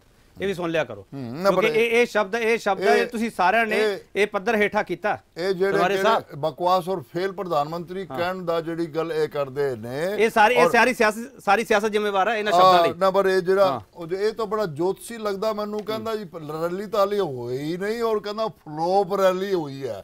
ਹੋਏਗੀ ਸਮਥਿੰਗ ਲਾਈਕ ਮੈਂ ਇਹ ਕਹਿਣਾ ਚਾਹੁੰਦਾ ਕਿ ਪੰਜਾਬ ਭਾਰਤ ਵਰਸ ਦਾ ਇੱਕ ਆਗੂ ਪ੍ਰਦੇਸ਼ ਨੇ ਅਸੀਂ ਜਦੋਂ 2014 ਦਾ ਵੀ ਇਲੈਕਸ਼ਨ ਲੜਿਆ ਸੀ ਪਾਰਲੀਮੈਂਟ ਦਾ ਇੱਥੋਂ ਹੀ ਪੰਜਾਬ ਦੀ ਧਰਤੀ ਤੋਂ ਨਮਨ ਕਰਦੇ ਹੋਏ ਆਪਾਂ ਇਲੈਕਸ਼ਨ ਕੈਂਪੇਨ ਚਾਲੂ ਪੰਜਾਬ ਕੀਤਾ ਲੱਕੀ ਹੈ ਤੁਹਾਡੇ ਲਈ? ਹੈਂ? ਪੰਜਾਬ ਲੱਕੀ? ਪੰਜਾਬ ਸਾਡੇ ਲਈ ਲੱਕੀ ਹੈ ਪੂਰੀ ਠੀਕ ਠੀਕ. ਰਠੌਰ ਸਾਹਿਬ ਮੈਂ ਆ ਰਿਹਾ ਮੁਹੰਮਦ ਖਾਲਿਦ ਤੁਹਾਡੇ ਕੋਲ। ਰਠੌਰ ਸਾਹਿਬ ਮੈਨੂੰ ਇੱਕ ਸਵਾਲ ਦਾ ਜਵਾਬ ਦਿਓ ਤੁਸੀਂ। ਪੰਜਾਬ ਭਾਜਪਾ ਦੇ ਪ੍ਰਧਾਨ ਸ਼ਵੇਤ ਮਲਿਕ ਖਰਾ ਨੇ ਕਿਹਾ ਸਾਰੇ ਪੰਜਾਬੀ ਇੱਥੇ ਧੰਨਵਾਦ ਕਰਨ ਆਉਣ। ਕਾਂਗਰਸ ਧੰਨਵਾਦ ਕਰੇਗੀ ਮੋਦੀ ਸਾਹਿਬ ਦਾ? ਦੇਖੋ ਕੇਪੀ ਜੀ ਗੱਲ ਇਹ ਹੈ ਕਿ ਪ੍ਰਧਾਨ ਮੰਤਰੀ ਤਾਂ ਪ੍ਰਧਾਨ ਮੰਤਰੀ ਰਹਿਣਗੇ। ਲੇਕਿਨ ਜੋ ਕੁਝ ਵਿਵਹਾਰ ਪ੍ਰਧਾਨ ਮੰਤਰੀ ਦਾ ਦੇਖੋ ਪ੍ਰਧਾਨ ਮੰਤਰੀ ਦੇਸ਼ ਦਾ ਹੁੰਦਾ ਹੈ ਇਹ ਸੰਵਿਧਾਨਿਕ ਪਦ ਹੈ ਲੇਕਿਨ ਜੋ ਵਿਵਹਾਰ ਮੋਦੀ ਸਾਹਿਬ ਦਾ ਰਿਹਾ ਹੈ ਤਾਂ ਉਹ ਇਹ ਅਹਿਸਾਸ ਵੀ ਦਵਾ ਜਾਂਦਾ ਹੈ ਕਿ ਉਹ ਪ੍ਰਧਾਨ ਮੰਤਰੀ ਇੱਕ ਪਾਰਟੀ ਦੇ ਨੇ ਤੁਸੀਂ ਜਵਾਬ ਨਹੀਂ ਦੇ ਰਹੇ ਮੇਰੇ ਮੈਂ- ਮੈਂ। ਜਵਾਬ ਮੈਂ ਸਵਾਲ ਸਿੱਧਾ ਕਰਦਾ ਮੈਂ- ਘੁਮਾ ਕੇ ਸਵਾਲ ਨਹੀਂ ਕਰਦਾ ਹੁੰਦਾਗਾ। ਤੁਸੀਂ ਧੰਨਵਾਦ ਕਰੋਗੇ ਮੋਦੀ ਸਾਹਿਬ ਦਾ ਨਹੀਂ ਧੰਨਵਾਦ ਕਿਸ ਚੀਜ਼ ਦਾ ਕਰੀਏ? ਕੀ ਕੀ ਦੇਤੇ ਪੰਜਾਬ ਨੂੰ? ਉਹਨਾਂ ਨੇ ਕੀ ਦੇ ਜਾ ਕਹਿ ਰਹੇ ਹੋ। ਦੇਖੋ ਕਰਤਾਰਪੁਰ ਲਾਂਘਾ ਇਹ ਸ਼ੁਰੂਆਤ ਦੇਖੋ ਇਹ ਪਾਕਿਸਤਾਨ ਅਸੀਂ ਤਾਂ ਬਹੁਤ ਸਾਲਾਂ ਤੋਂ ਰਿਕੁਐਸਟ ਕਰ ਰਹੇ ਹਾਂ ਪਾਕਿਸਤਾਨ ਨੂੰ ਕਿ ਵੀ ਲਾਂਘਾ ਖੁੱਲਣਾ ਚਾਹੀਦਾ ਲਾਂਘਾ ਖੁੱਲਣਾ ਚਾਹੀਦਾ ਸਰਕਾਰਾਂ ਇਹਨਾਂ ਦੀ ਵੀ ਆਈਆਂ ਚਲੇ ਗਈਆਂ ਡਾਕਟਰ ਮਨਮੋਹਨ ਸਿੰਘ ਨੇ ਵੀ ਕਿਹਾ ਲੇਕਿਨ ਪਹਿਲ ਜਿਹੜੀ ਕੀਤੀ ਹੈ ਉਹ ਪਾਕਿਸਤਾਨ ਦੀ ਸਰਕਾਰ ਨੇ ਕੀਤੀ ਹੈ। ਔਰ ਉਸ ਸਮੇਂ ਕੀਤੀ ਹੈ ਜਦ ਸਾਡੇ ਇੱਕ ਜਿਹੜੇ ਕਾਂਗਰਸ ਦੇ ਲੀਡਰ ਸੀਗੇ ਉਹ ਜਿਹੜੀ ਸੈਰੇਮਨੀ ਸੀਗੀ ਪ੍ਰਧਾਨ ਮੰਤਰੀ ਪਾਕਿਸਤਾਨ ਸਿੱਧੂ ਸਾਹਿਬ ਉਸ ਸਮੇਂ ਉਹਨਾਂ ਨੇ ਇਸ ਚੀਜ਼ ਦਾ ਇਸ਼ਾਰਾ ਦਿੱਤਾ। ਲੰਗਰ ਤੋਂ ਤਾਂ ਹਟਾਈ? ਲੰਗਰ ਤੋਂ ਜੀਐਸਟੀ ਹਟਾਈ ਆਪਾਂ ਧੰਨਵਾਦ ਕਰਦੇ ਹਾਂ। ਧੰਨਵਾਦ ਕਰਦੇ ਧੰਨਵਾਦ ਕਰਨਾ। ਪਊਗਾ ਤੁਹਾਨੂੰ? ਆਪਾਂ ਉਸ ਚੀਜ਼ ਦਾ ਧੰਨਵਾਦ ਕਰਦੇ ਹਾਂ। 1984 ਦੂਜੀ ਗੱਲ। ਨਸਲਕੁਸ਼ੀ ਦੇ ਮਾਮਲਿਆਂ ਦੇ ਵਿੱਚ ਭਾਰਤੀ ਜਨਤਾ ਪਾਰਟੀ ਜਾਂ ਕੇਂਦਰ ਸਰਕਾਰ ਦੀ ਕੀ ਭੂਮਿਕਾ ਤੇ ਕਾਂਗਰਸ ਉੱਤੇ ਕੀ ਕਮੈਂਟ ਕਰਨਾ ਚਾਹੂਗੀ? ਬਿਲਕੁਲ। ਦੇਖੋ ਮੈਂ ਬਿਆਨ ਸੁਣ ਰਿਹਾ ਸੀਗਾ ਇਹ ਕਹਿੰਦੇ ਜੀ ਅੱਜ ਜਾ ਕੇ ਮੋਦੀ ਸਾਹਿਬ ਨੇ ਇਹ ਫੈਸਲੇ ਕਰਾਤੇ। ਇਹਦਾ ਮਤਲਬ ਤੁਸੀਂ ਸਾਫ਼ ਸ਼ੋ ਕਰ ਰਹੇ ਹੋ ਕਿ ਤੁਸੀਂ ਜੁਡੀਸ਼ਰੀ ਦੇ ਉੱਤੇ ਵੀ ਇਨਫਲੂਐਂਸ ਕਰ ਰਹੇ ਹੋ। ਬਾਕੀ ਸੰਸਥਾਵਾਂ ਤਾਂ ਤੁਸੀਂ ਛੱਡੀਆਂ ਨਹੀਂ ਹੈ ਉੱਥੇ ਵੀ ਤੁਹਾਡਾ ਇਨਫਲੂਐਂਸ ਆ ਗਿਆ। ਦੇਖੋ ਜੇ ਮੈਂ ਸਵਾਲ ਤੁਹਾਡੇ ਤੇ ਕਰਾਂ ਤੁਸੀਂ ਇੰਨੇ ਸਾਲ ਕੇਸ ਲਟਕਾਏ ਆ। ਤੁਸੀਂ ਵੀ ਜੁਡੀਸ਼ੀ ਤੇ ਇਨਫਲੂਐਂਸ ਕਰ ਰਹੇ ਸੀਗੇ? ਬਿਲਕੁਲ ਨਹੀਂ ਕਰ ਰਹੇ ਸੀ। ਜੋ ਇਹ ਇਹ ਸਿਸਟਮ ਤੁਸੀਂ ਪੂਰਾ ਪੂਰਾ ਡਿਸੀਜਨ ਪੜੋ ਠੌਰ ਸਾਹਿਬ ਡਿਸੀਜਨ ਪੜੋ ਗਿਆ ਇਲਜ਼ਾਮ ਲਾਉਣੇ ਬੜੇ ਸੌਖੇ ਆ। ਇਹ ਸਾਰੀ ਸਿਆਸਤ ਨੇ ਨਹੀਂ ਇਹ ਸਾਰੀ ਸਿਆਸਤ ਨੇ ਦੋਸ਼ੀਆਂ ਨੂੰ ਅੰਦਰ ਨਹੀਂ ਜਾਣ ਦਿੱਤਾ ਸਾਰੀ ਸਿਆਸਤ ਨੂੰ ਨਹੀਂ ਅੰਦਰ ਜਾਣ ਦਿੱਤਾ। ਫਿਰ ਵਾਜਪਾਈ ਸਾਹਿਬ ਦੇ ਸਮੇਂ ਜਿਹੜੀਆਂ ਕਾਰਵਾਈਆਂ ਹੋਈਆਂ ਫਿਰ ਦੁਬਾਰਾ ਮੁਕੱਦਮੇ ਕਿਉਂ ਨਹੀਂ ਦਰਜ ਹੋਏ? ਤੁਸੀਂ ਮੈਨੂੰ ਉਸ ਚੀਜ਼ ਦਾ ਜਵਾਬ ਦਿਓ। ਅੱਜ 4.5 ਸਾਲ ਜੇ ਇਹ ਕਹਿੰਦੇ ਆ ਉਸ ਗੱਲ ਤੇ ਅੱਜ 4.5 ਸਾਲ ਬਾਅਦ ਇਹ ਸਭ ਕੁਝ ਕਿਉਂ ਹੋ ਰਿਹਾ? ਅੱਜ 4.5 ਸਾਲ ਬਾਅਦ ਇਹ ਚੀਜ਼ਾਂ ਕਿਉਂ ਆ ਨੇ ਰਹੀਆਂ? ਕੇਂਦਰ ਦੇ ਪ੍ਰੈਸ਼ਰ ਚ ਆ ਕੇ ਫੈਸਲੇ ਸੁਣਾਇਆ ਪ੍ਰਧਾਨ ਕਹਿ ਰਹੇ ਨੇ ਇਹਨਾਂ ਦੇ ਵੀ ਅਸੀਂ ਕਰਾਇਆ ਨਹੀਂ ਤੁਸੀਂ ਆਪਦਾ ਜਵਾਬ ਦਿਓ ਨਾ ਇਹਨਾਂ ਦੇ ਪ੍ਰਧਾਨ ਤਾਂ ਕਹਿਣਗੇ। ਤੁਸੀਂ ਆਪਦਾ ਜਵਾਬ ਦਿਓ। ਇਹ ਤਾਂ ਹਾਈ ਕੋਰਟ ਨੇ ਕਿਉਂ ਫੈਸਲੇ ਸੁਣਾਤੇ? ਇਹਨਾਂ ਦਾ ਜਿਹੜਾ ਇਨਫਲੂਐਂਸ ਹੈ ਉਹ ਦੁਖ ਰਿਹਾ। ਦੂਜੀ ਗੱਲ ਇਹ ਜਿਹੜੀ ਪੋਲਰਾਈਜੇਸ਼ਨ ਦਾ ਦੇ ਪੋਲਰਾਈਜੇਸ਼ਨ ਕੋਸ਼ਿਸ਼ ਦੇ ਕਰ ਰਿਹਾ। ਆ ਜਿਹੜੀ ਕਰਨ ਵਾਪਸ ਇਹਨਾਂ ਨੇ ਗੁਰਦਾਸਪੁਰ ਖਾਲਿਦ ਸਾਹਿਬ ਤੋਂ ਸਮਝਣ ਦੀ ਕੋਸ਼ਿਸ਼ ਕਰਾਂਗੇ। ਮੋਦੀ ਸਾਹਿਬ ਦਾ ਪੰਜਾਬ ਆਉਣ ਦਾ ਪਲਾਨ ਕਿਉਂ ਬਣਿਆ ਹੈਗਾ? ਸਭ ਤੋਂ ਅਹਿਮ ਗੱਲ ਹੈਗੀ ਹੈ ਕਿ ਸਰਹੱਦੀ ਸੂਬਾ ਪੰਜਾਬ ਤੇ ਕੌਮਾਂਤਰੀ ਸਰਹੱਦ ਉੱਤੇ ਲੱਗਦੀ ਹੈ ਜਿੱਥੇ ਪ੍ਰਧਾਨ ਮੰਤਰੀ ਮੋਦੀ ਸਾਹਿਬ ਨੇ ਜਾਣਾ। ਪਾਕਿਸਤਾਨ ਬੜਾ ਨੇੜਿਓਂ ਦਿਖਦਾ ਹੈਗਾ। ਜੰਮੂ ਕਸ਼ਮੀਰ ਉੱਥੇ ਬੜਾ ਨੇੜੇ ਹੈਗਾ। ਜੰਮੂ ਕਸ਼ਮੀਰ ਦੇ ਵਿੱਚ ਮਹਿਬੂਬਾ ਦਾ ਸਾਥ ਛੱਡ ਦਿੱਤਾ ਤੇ ਹੁਣ ਮਹਿਬੂਬ ਨੇਤਾ ਪੰਜਾਬ ਚੋਂ ਕੀ ਪਾਲਦੇ ਬ੍ਰੇਕ ਤੋਂ ਵਾਪਸ ਆ ਰਹੇ ਸਵਾਲ ਬੜਾ ਮਹੱਤਵਪੂਰਨ ਸੀ। ਕੋ ਪੁੱਛਨੇ ਪ੍ਰਧਾਨ ਮੰਤਰੀ ਮੋਦੀ ਲਈ ਮਿਸ਼ਨ 2019 ਦਾ ਆਗਾਜ਼ ਪੰਜਾਬ ਦੀ ਕਮਾਂਤਰੀ ਸਰਹੱਦ ਤੋਂ ਕਰਨ ਦੇ ਮਾਇਨੇ ਕੀ ਹੈਗਾ? ਮੁਹੰਮਦ ਖਾਲਿਦ ਸਾਹਿਬ। ਤੁਸੀਂ ਪੰਜਾਬ ਦੀ ਭੂਗੋਲਿਕ ਸਥਿਤੀ ਨੂੰ ਵੀ ਸਮਝਦੇ ਹੋ ਰਾਜਨੀਤੀ ਨੂੰ ਸਮਝਦੇ ਸਮਝਦੇ ਹੋ। ਭੂਗੋਲਿਕ ਸਥਿਤੀ ਇਹ ਕਹਿੰਦੀ ਹੈ ਗੁਰਦਾਸਪੁਰ ਬਿਲਕੁਲ ਸਰਹੱਦ ਦੇ ਨੇੜੇ ਆ ਕਮਾਂਤਰੀ ਸਰਹੱਦ ਦੇ ਨੇੜੇ ਆ ਜੰਮੂ ਕਸ਼ਮੀਰ ਨੇੜੇ ਹੈਗੀ ਆ। ਜੰਮੂ ਕਸ਼ਮੀਰ ਦੇ ਵਿੱਚ ਭਾਰਤੀ ਜਨਤਾ ਪਾਰਟੀ ਦਾ ਨਾਤਾ ਉਥੇ ਟੁੱਟਿਆ ਹੈਗਾ। ਤੇ ਹੁਣ ਸਰਹੱਦ ਤੇ ਪਾਕਿਸਤਾਨ ਦੀ ਪਾਲਿਸੀ ਹੈ ਜਿਹੜੀ ਉਹਨਾਂ ਤੇ ਕਈ ਸਵਾਲ ਉੱਠਦੇ ਆ ਪਾਕਿਸਤਾਨ ਪ੍ਰਤੀ। ਮੋਦੀ ਸਾਹਿਬ ਦੀ ਪਾਲਿਸੀ ਕੀ ਹੈਗੀ ਹੈ, ਕੇਂਦਰ ਸਰਕਾਰ ਦੀ ਪਾਲਿਸੀ ਕੀ ਹੈ? ਹੁਣ ਗੁਰਦਾਸਪੁਰ ਚੁਣਿਆ ਜਾਣਾ ਦੇ ਨਾਲ ਕਰਤਾਰਪੁਰ ਲੰਘਿਆ ਜ਼ਿਕਰ ਹੋਣਾ। ਤੁਸੀਂ ਇਸ ਸਿਆਸਤ ਨੂੰ ਕਿਸ ਤਰ੍ਹਾਂ ਸਮਝਦੇ ਹੋ? ਦੇਖੋ, ਗੱਲ ਇਹ ਹੈ ਜਿਹੜੀ ਤੁਸੀਂ ਭੂਗੋਲਿਕ ਗੱਲ ਕੀਤੀ ਹੈ ਨਾ, ਇਹਦੇ 'ਚ ਕੋਈ ਦੋ ਰਾਏ ਨਹੀਂ ਹੈ। ਗੁਰਦਾਸਪੁਰ ਦੇ ਨਾਲ ਹੀ ਪਠਾਨਕੋਟ ਹੈ। ਪਠਾਨਕੋਟ ਦੇ ਵਿੱਚ ਤੁਹਾਨੂੰ ਪਤਾ ਹੈ, ਬੀਜੇਪੀ ਜਿਹੜੀ ਹੈਗੀ ਹੈ, ਉਹ ਪਹਿਲਾਂ ਤੋਂ ਹੀ ਕਾਫੀ ਸਟਰੋਂਗ ਹੈ। ਅਗਰ ਪਠਾਨਕੋਟ ਤੋਂ ਪੂਰੇ ਪੰਜਾਬ 'ਚ ਕਿਤੇ ਸੀਟ ਨਾ ਜਿੱਤੇ ਬੀਜੇਪੀ, ਤਾਂ ਘੱਟੋ ਘੱਟ ਗੁਰ- ਪਠਾਨਕੋਟ ਜ਼ਿਲ੍ਹੇ ਦੇ ਵਿੱਚੋਂ ਖਾਸ ਤੌਰ ਪਰ ਸੁਜਾਨਪੁਰ ਤੋਂ ਜ਼ਰੂਰ ਜਿੱਤ ਜਾਂਦੀ ਹੈ। ਦੋ ਚੀਜ਼ਾਂ ਇਹਦੇ ਵਿੱਚ ਹੈਗੀਆਂ। ਚੁਣਿਆ ਹੈਗਾ ਗੁਰਦਾਸਪੁਰ। ਮੋਬਿਲਾਈਜੇਸ਼ਨ ਸਾਰੀ ਕੇਡਰ ਦੀ ਹੋਊਗੀ ਪਠਾਨਕੋਟ ਡਿਸਟ੍ਰਿਕਟ ਚੋਂ। ਉਹਦੇ ਨਾਲ ਦੋ ਡਿਸਟ੍ਰਿਕਟ ਕਵਰ ਹੋਗਾ ਜਿਹੜੇ ਕਿ ਦੋਨੇ ਡਿਸਟ੍ਰਿਕਟ ਜਿਹੜੇ ਹੈਗੇ ਆ ਬਾਰਡਰ ਡਿਸਟ੍ਰਿਕਟ ਹੈ। ਇਸ ਕਰਕੇ ਪਹਿਲਾਂ ਤਾਂ ਹੈਗਾ ਵੀ ਨਫਰੀ ਸਭ ਤੋਂ ਵੱਡਾ ਜਿਹੜਾ ਪ੍ਰੋਬਲਮ ਹੁੰਦੀ ਹੈ ਨਾ ਲੀਡਰਾਂ ਨੂੰ ਰੈਲੀਆਂ ਦੇ ਵਿੱਚ ਹੁੰਦਾ ਵੀ ਬੰਦੇ ਕਿੱਥੋਂ ਲਿਆਉਣੇ ਆ। ਉਹ ਬੰਦਿਆਂ ਦੀ ਮੋਬਿਲਾਈਜੇਸ਼ਨ ਉਹਨਾਂ ਨੇ ਉੱਥੋਂ ਕਰਨੀ ਹੈ ਨੰਬਰ 1 ਗੁਰਦਾਸਪੁਰ ਜਿਹੜਾ ਹੈਗਾ ਉਹ ਇਸ ਕਰਕੇ ਵੀ ਹੋ ਗਿਆ ਕਿ ਉਹਦੇ ਨਾਲ ਹੀ ਲਾਂਘਾ ਪੈਂਦਾ ਔਰ ਲਾਂਘੇ ਨੂੰ ਬਣਾਉਣ ਦੀ ਕੋਸ਼ਿਸ਼ ਕੀਤੀ ਜਾਏਗੀ। ਉਹਦੀ ਵਜ੍ਹਾ ਇਹ ਹੈ ਕਿ ਇਹਦੇ 'ਚ ਕੋਈ ਦੋ ਰਾਏ ਨਹੀਂ ਬੜੀ ਦੇਰ ਤੋਂ ਚੱਲ ਰਿਹਾ ਸੀਗਾ ਲਾਂਘੇ ਦੀ ਗੱਲ ਔਰ ਹੁਣ ਹੋਇਆ ਹੈ। ਇਨਸੀਡੈਂਟਲੀ ਉਹਦੇ ਵਿੱਚ ਸੈਂਟਰ ਗਵਰਨਮੈਂਟ ਦਾ ਵੀ ਯੋਗਦਾਨ ਹੈ ਕਿਉਂਕਿ ਅਗਰ ਸਿੱਧੂ ਜਾਂ ਪਾਕਿਸਤਾਨ ਗਵਰਨਮੈਂਟ ਕਿੰਨਾ ਮਰਜ਼ੀ ਸ਼ੋਰ ਮਚਾ ਲਵੇ ਜਦ ਤੱਕ ਇੰਡੀਆ ਦੀ ਕੈਬਨਿਟ ਉਹਨੂੰ ਯੈਸ ਨਹੀਂ ਕਰਦੀ ਉਸ ਵੇਲੇ ਤੱਕ ਲਾਂਘਾ ਤੁਹਾਡੀ ਗੱਲ ਨਾਲ ਮੈਂ ਸਹਿਮਤ ਹਾਂ ਮੁਹੰਮਦ ਖਾਲਿਦ ਮੈਨੂੰ ਇੱਕ ਸਵਾਲ ਜਵਾਬ ਦੇ ਦਿਓ। ਮੈਨੂੰ ਇੱਕ ਸਵਾਲ। ਜਵਾਬ ਦਿਓ। ਤੁਸੀਂ ਕਹਿ ਰਹੇ ਹੋ ਕਿ ਯੋਗਦਾਨ ਹੈ। ਮੈਂ ਤੁਹਾਨੂੰ ਸਵਾਲ ਇਹ ਕਰ ਰਿਹਾ ਯੋਗਦਾਨ 1 ਨੰਬਰ ਦਾ ਜਾਂ ਯੋਗਦਾਨ 2 ਨੰਬਰ ਦਾ? ਨਹੀਂ ਇਹ ਦੋ ਨੰਬਰ ਦਾ। ਦੋ ਨੰਬਰ ਦਾ ਉਹਦੀ? ਵਜ੍ਹਾ ਹੈਗੀ ਹੈ ਇਹ ਰਿਐਕਸ਼ਨ ਹੈ ਐਕਸ਼ਨ ਨਹੀਂ ਹੈ। ਹੂੰ ਠੀਕ ਹੈ। ਮਤਲਬ ਹੈ ਰਿਐਕਸ਼ਨ ਦੂਸਰੀ ਤੀਸਰੀ ਚੀਜ਼ ਜਿਹੜੀ ਹੈਗੀ ਹੈ ਜਿਹੜੀ ਇਹਨਾਂ ਨੇ ਕੀ ਹੈ ਕਿ ਜੀ ਆਪਣੇ ਜਿਹੜਾ ਹੈਗਾ 84 ਦੇ ਜਿਹੜੇ ਸੀਗੇ ਐਂਟੀ ਸਿੱਖ ਰਾਈਟ ਸੀਗੇ ਉਹਦੇ ਵਿੱਚ ਆਪਾਂ ਕਹਿੰਦੇ ਆ ਕਿ ਇੱਕ ਲੀਗਲ ਪ੍ਰੋਸੈਸ ਸੀਗਾ ਹਜੇ ਉਹ ਲੀਗਲ ਪ੍ਰੋਸੈਸ ਆਪਣੀ ਫਾਈਨਲ ਸਟੇਜ ਤੇ ਨਹੀਂ ਪਹੁੰਚਿਆ ਹੈ।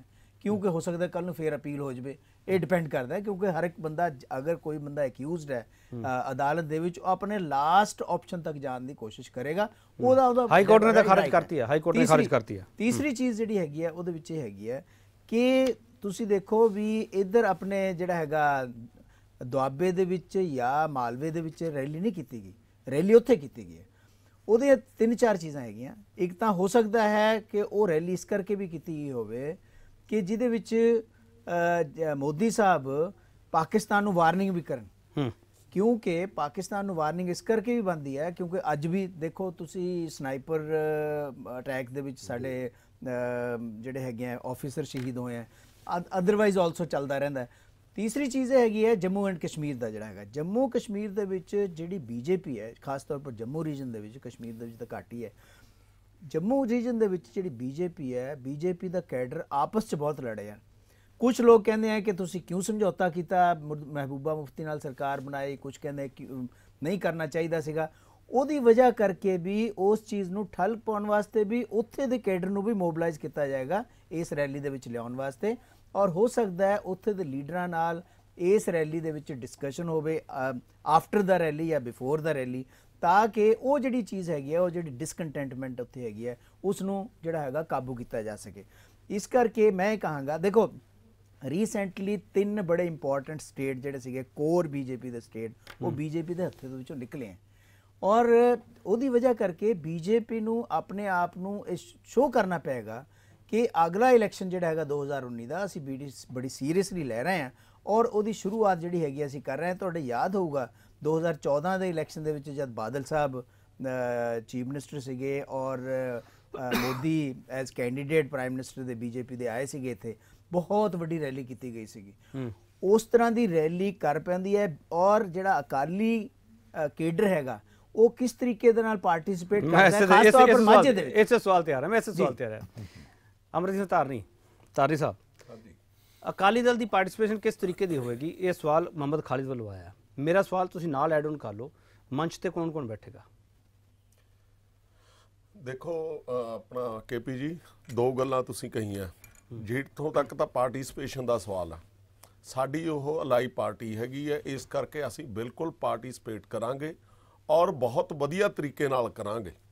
ਕਿਉਂਕਿ ਪੰਜਾਬ ਦੇ ਵਿੱਚ Bharatiya Janata Party and BJP ਦੋਹੇ ਜਿਹੜਾ ਹੈਗਾ 9 ਮਾਸ ਦੇ ਰਿਸ਼ਤੇ ਵਾਲਾ ਰਿਸ਼ਤਾ ਹੈਗਾ। ਭਾਰਤੀ ਜਨਤਾ ਪਾਰਟੀ ਤੇ ਅਕਾਲੀ ਦਲ। ਅਕਾਲੀ ਦਲ। ਅਕਾਲੀ ਦਲ ਜੀ। ਤੇ ਦੂਜੀ ਗੱਲ ਜਿਹੜਾ ਤੁਹਾਡਾ ਕੁਐਸਚਨ ਸੀ ਮੰਚ ਤੇ ਕੌਣ-ਕੌਣ ਬੈਠੂਗਾ? ਮੰਚ ਤੇ ਕੌਣ-ਕੌਣ ਬੈਠਣਗੇ? ਦੇਖੋ ਇਹ ਕੇਪੀ ਜੀ ਇਹ ਕੁਐਸਚਨ ਹਾਲੇ ਬਣਦਾ ਨਹੀਂ ਮੇਰਾ ਖਿਆਲ ਹੈ ਕਿਉਂਕਿ ਕਦੋਂ ਬਣੂਗਾ? ਮੈਂ? ਦੱਸਦਾ। ਦੇਖੋ ਇਹ ਪ੍ਰੋਟੋਕਾਲ ਦੀਆਂ ਗੱਲਾਂ ਹੁੰਦੀਆਂ। ਪ੍ਰੋਟੋਕਾਲ ਦੇ ਮੁਤਾਬਕ ਕਿਹਨੂੰ ਕਿਹਨੂੰ ਉੱਥੇ ਸੀਟ ਦੇਣੀ ਹੈ? ਮੈਂ ਇਸ ਹੈਗਾ- ਧਾਰਨੀ ਸਾਹਿਬ ਮੈਂ ਇਸ ਕਰਕੇ ਸਵਾਲ ਕੀਤਾ ਸੀ ਧਾਰਨੀ ਸਾਹਿਬ। ਪਿਛਲੀ ਵਾਰ ਮਲੋਟ ਚ ਰੈਲੀ ਹੋਈ ਸੀਗੀ। ਉਦੋਂ ਵਿਕਰਮ ਮਜੀਠੀਆ ਦੇ ਮੰਚ ਤੇ ਨਾ ਬੈਠਣ ਤੇ ਤੁਹਾਡੇ ਵਿਰੋਧੀਆਂ ਨੇ ਸਵਾਲ ਪੁੱਛੇ ਸੀਗੇ। ਇਸ ਕਰਕੇ ਮੈਂ ਉਹ ਵਿਰੋਧੀਆਂ ਦੇ ਸਵਾਲ ਪੁੱਛਣ ਤੋਂ ਪਹਿਲਾਂ ਤੁਹਾਨੂੰ ਸਵਾਲ ਪੁੱਛਣਾ ਤੁਹਾਡੇ ਕੋਲ ਜਵਾਬ ਹੈਗਾ ਤਾਂ ਹੁਣੇ ਜਦੋਂ ਮੰਚ ਤੇ ਕੌਣ ਦੇਖੋ ਬੈਠੂਗਾ। ਦੇਖੋ ਮੈਂ ਤੁਹਾਨੂੰ ਦੱਸਦਾ ਕਿ ਇਹ ਜਿਹੜੀ ਰੈਲੀ ਹੈਗੀ ਆ ਬੀਜੇਪੀ ਕਰ ਰਹੇ ਆ। ਸ਼ਵੇਤ ਮਲਕ ਜੀ ਤੁਹਾਡੇ ਸਾਹਮਣੇ ਸਾਰੀ ਕਮਾਂਡ ਸੰਭਾਲੀ ਵੀ ਹੈਗੀ ਆ। ਉਹਨਾਂ ਨੇ ਔਰ ਨਾਲ ਦੀ ਨਾਲ ਇਹ ਪ੍ਰਾਈਮ ਮਿਨਿਸਟਰ ਦੀ ਰੈਲੀ ਹੈਗੀ ਆ ਕਿਸੇ ਇਸ ਤਰ੍ਹਾਂ ਦੇ ਉਹਦੀ ਹੈ ਨਹੀਂ ਕੋਈ ਪੋਲੀਟੀਕਲ ਰੈਲੀ ਨਹੀਂ ਹੈਗੀ ਮਿਸ਼ਨ ਦੀ 2019 rally। ਦਾ ਜ਼ਿਕਰ ਕੀਤਾ।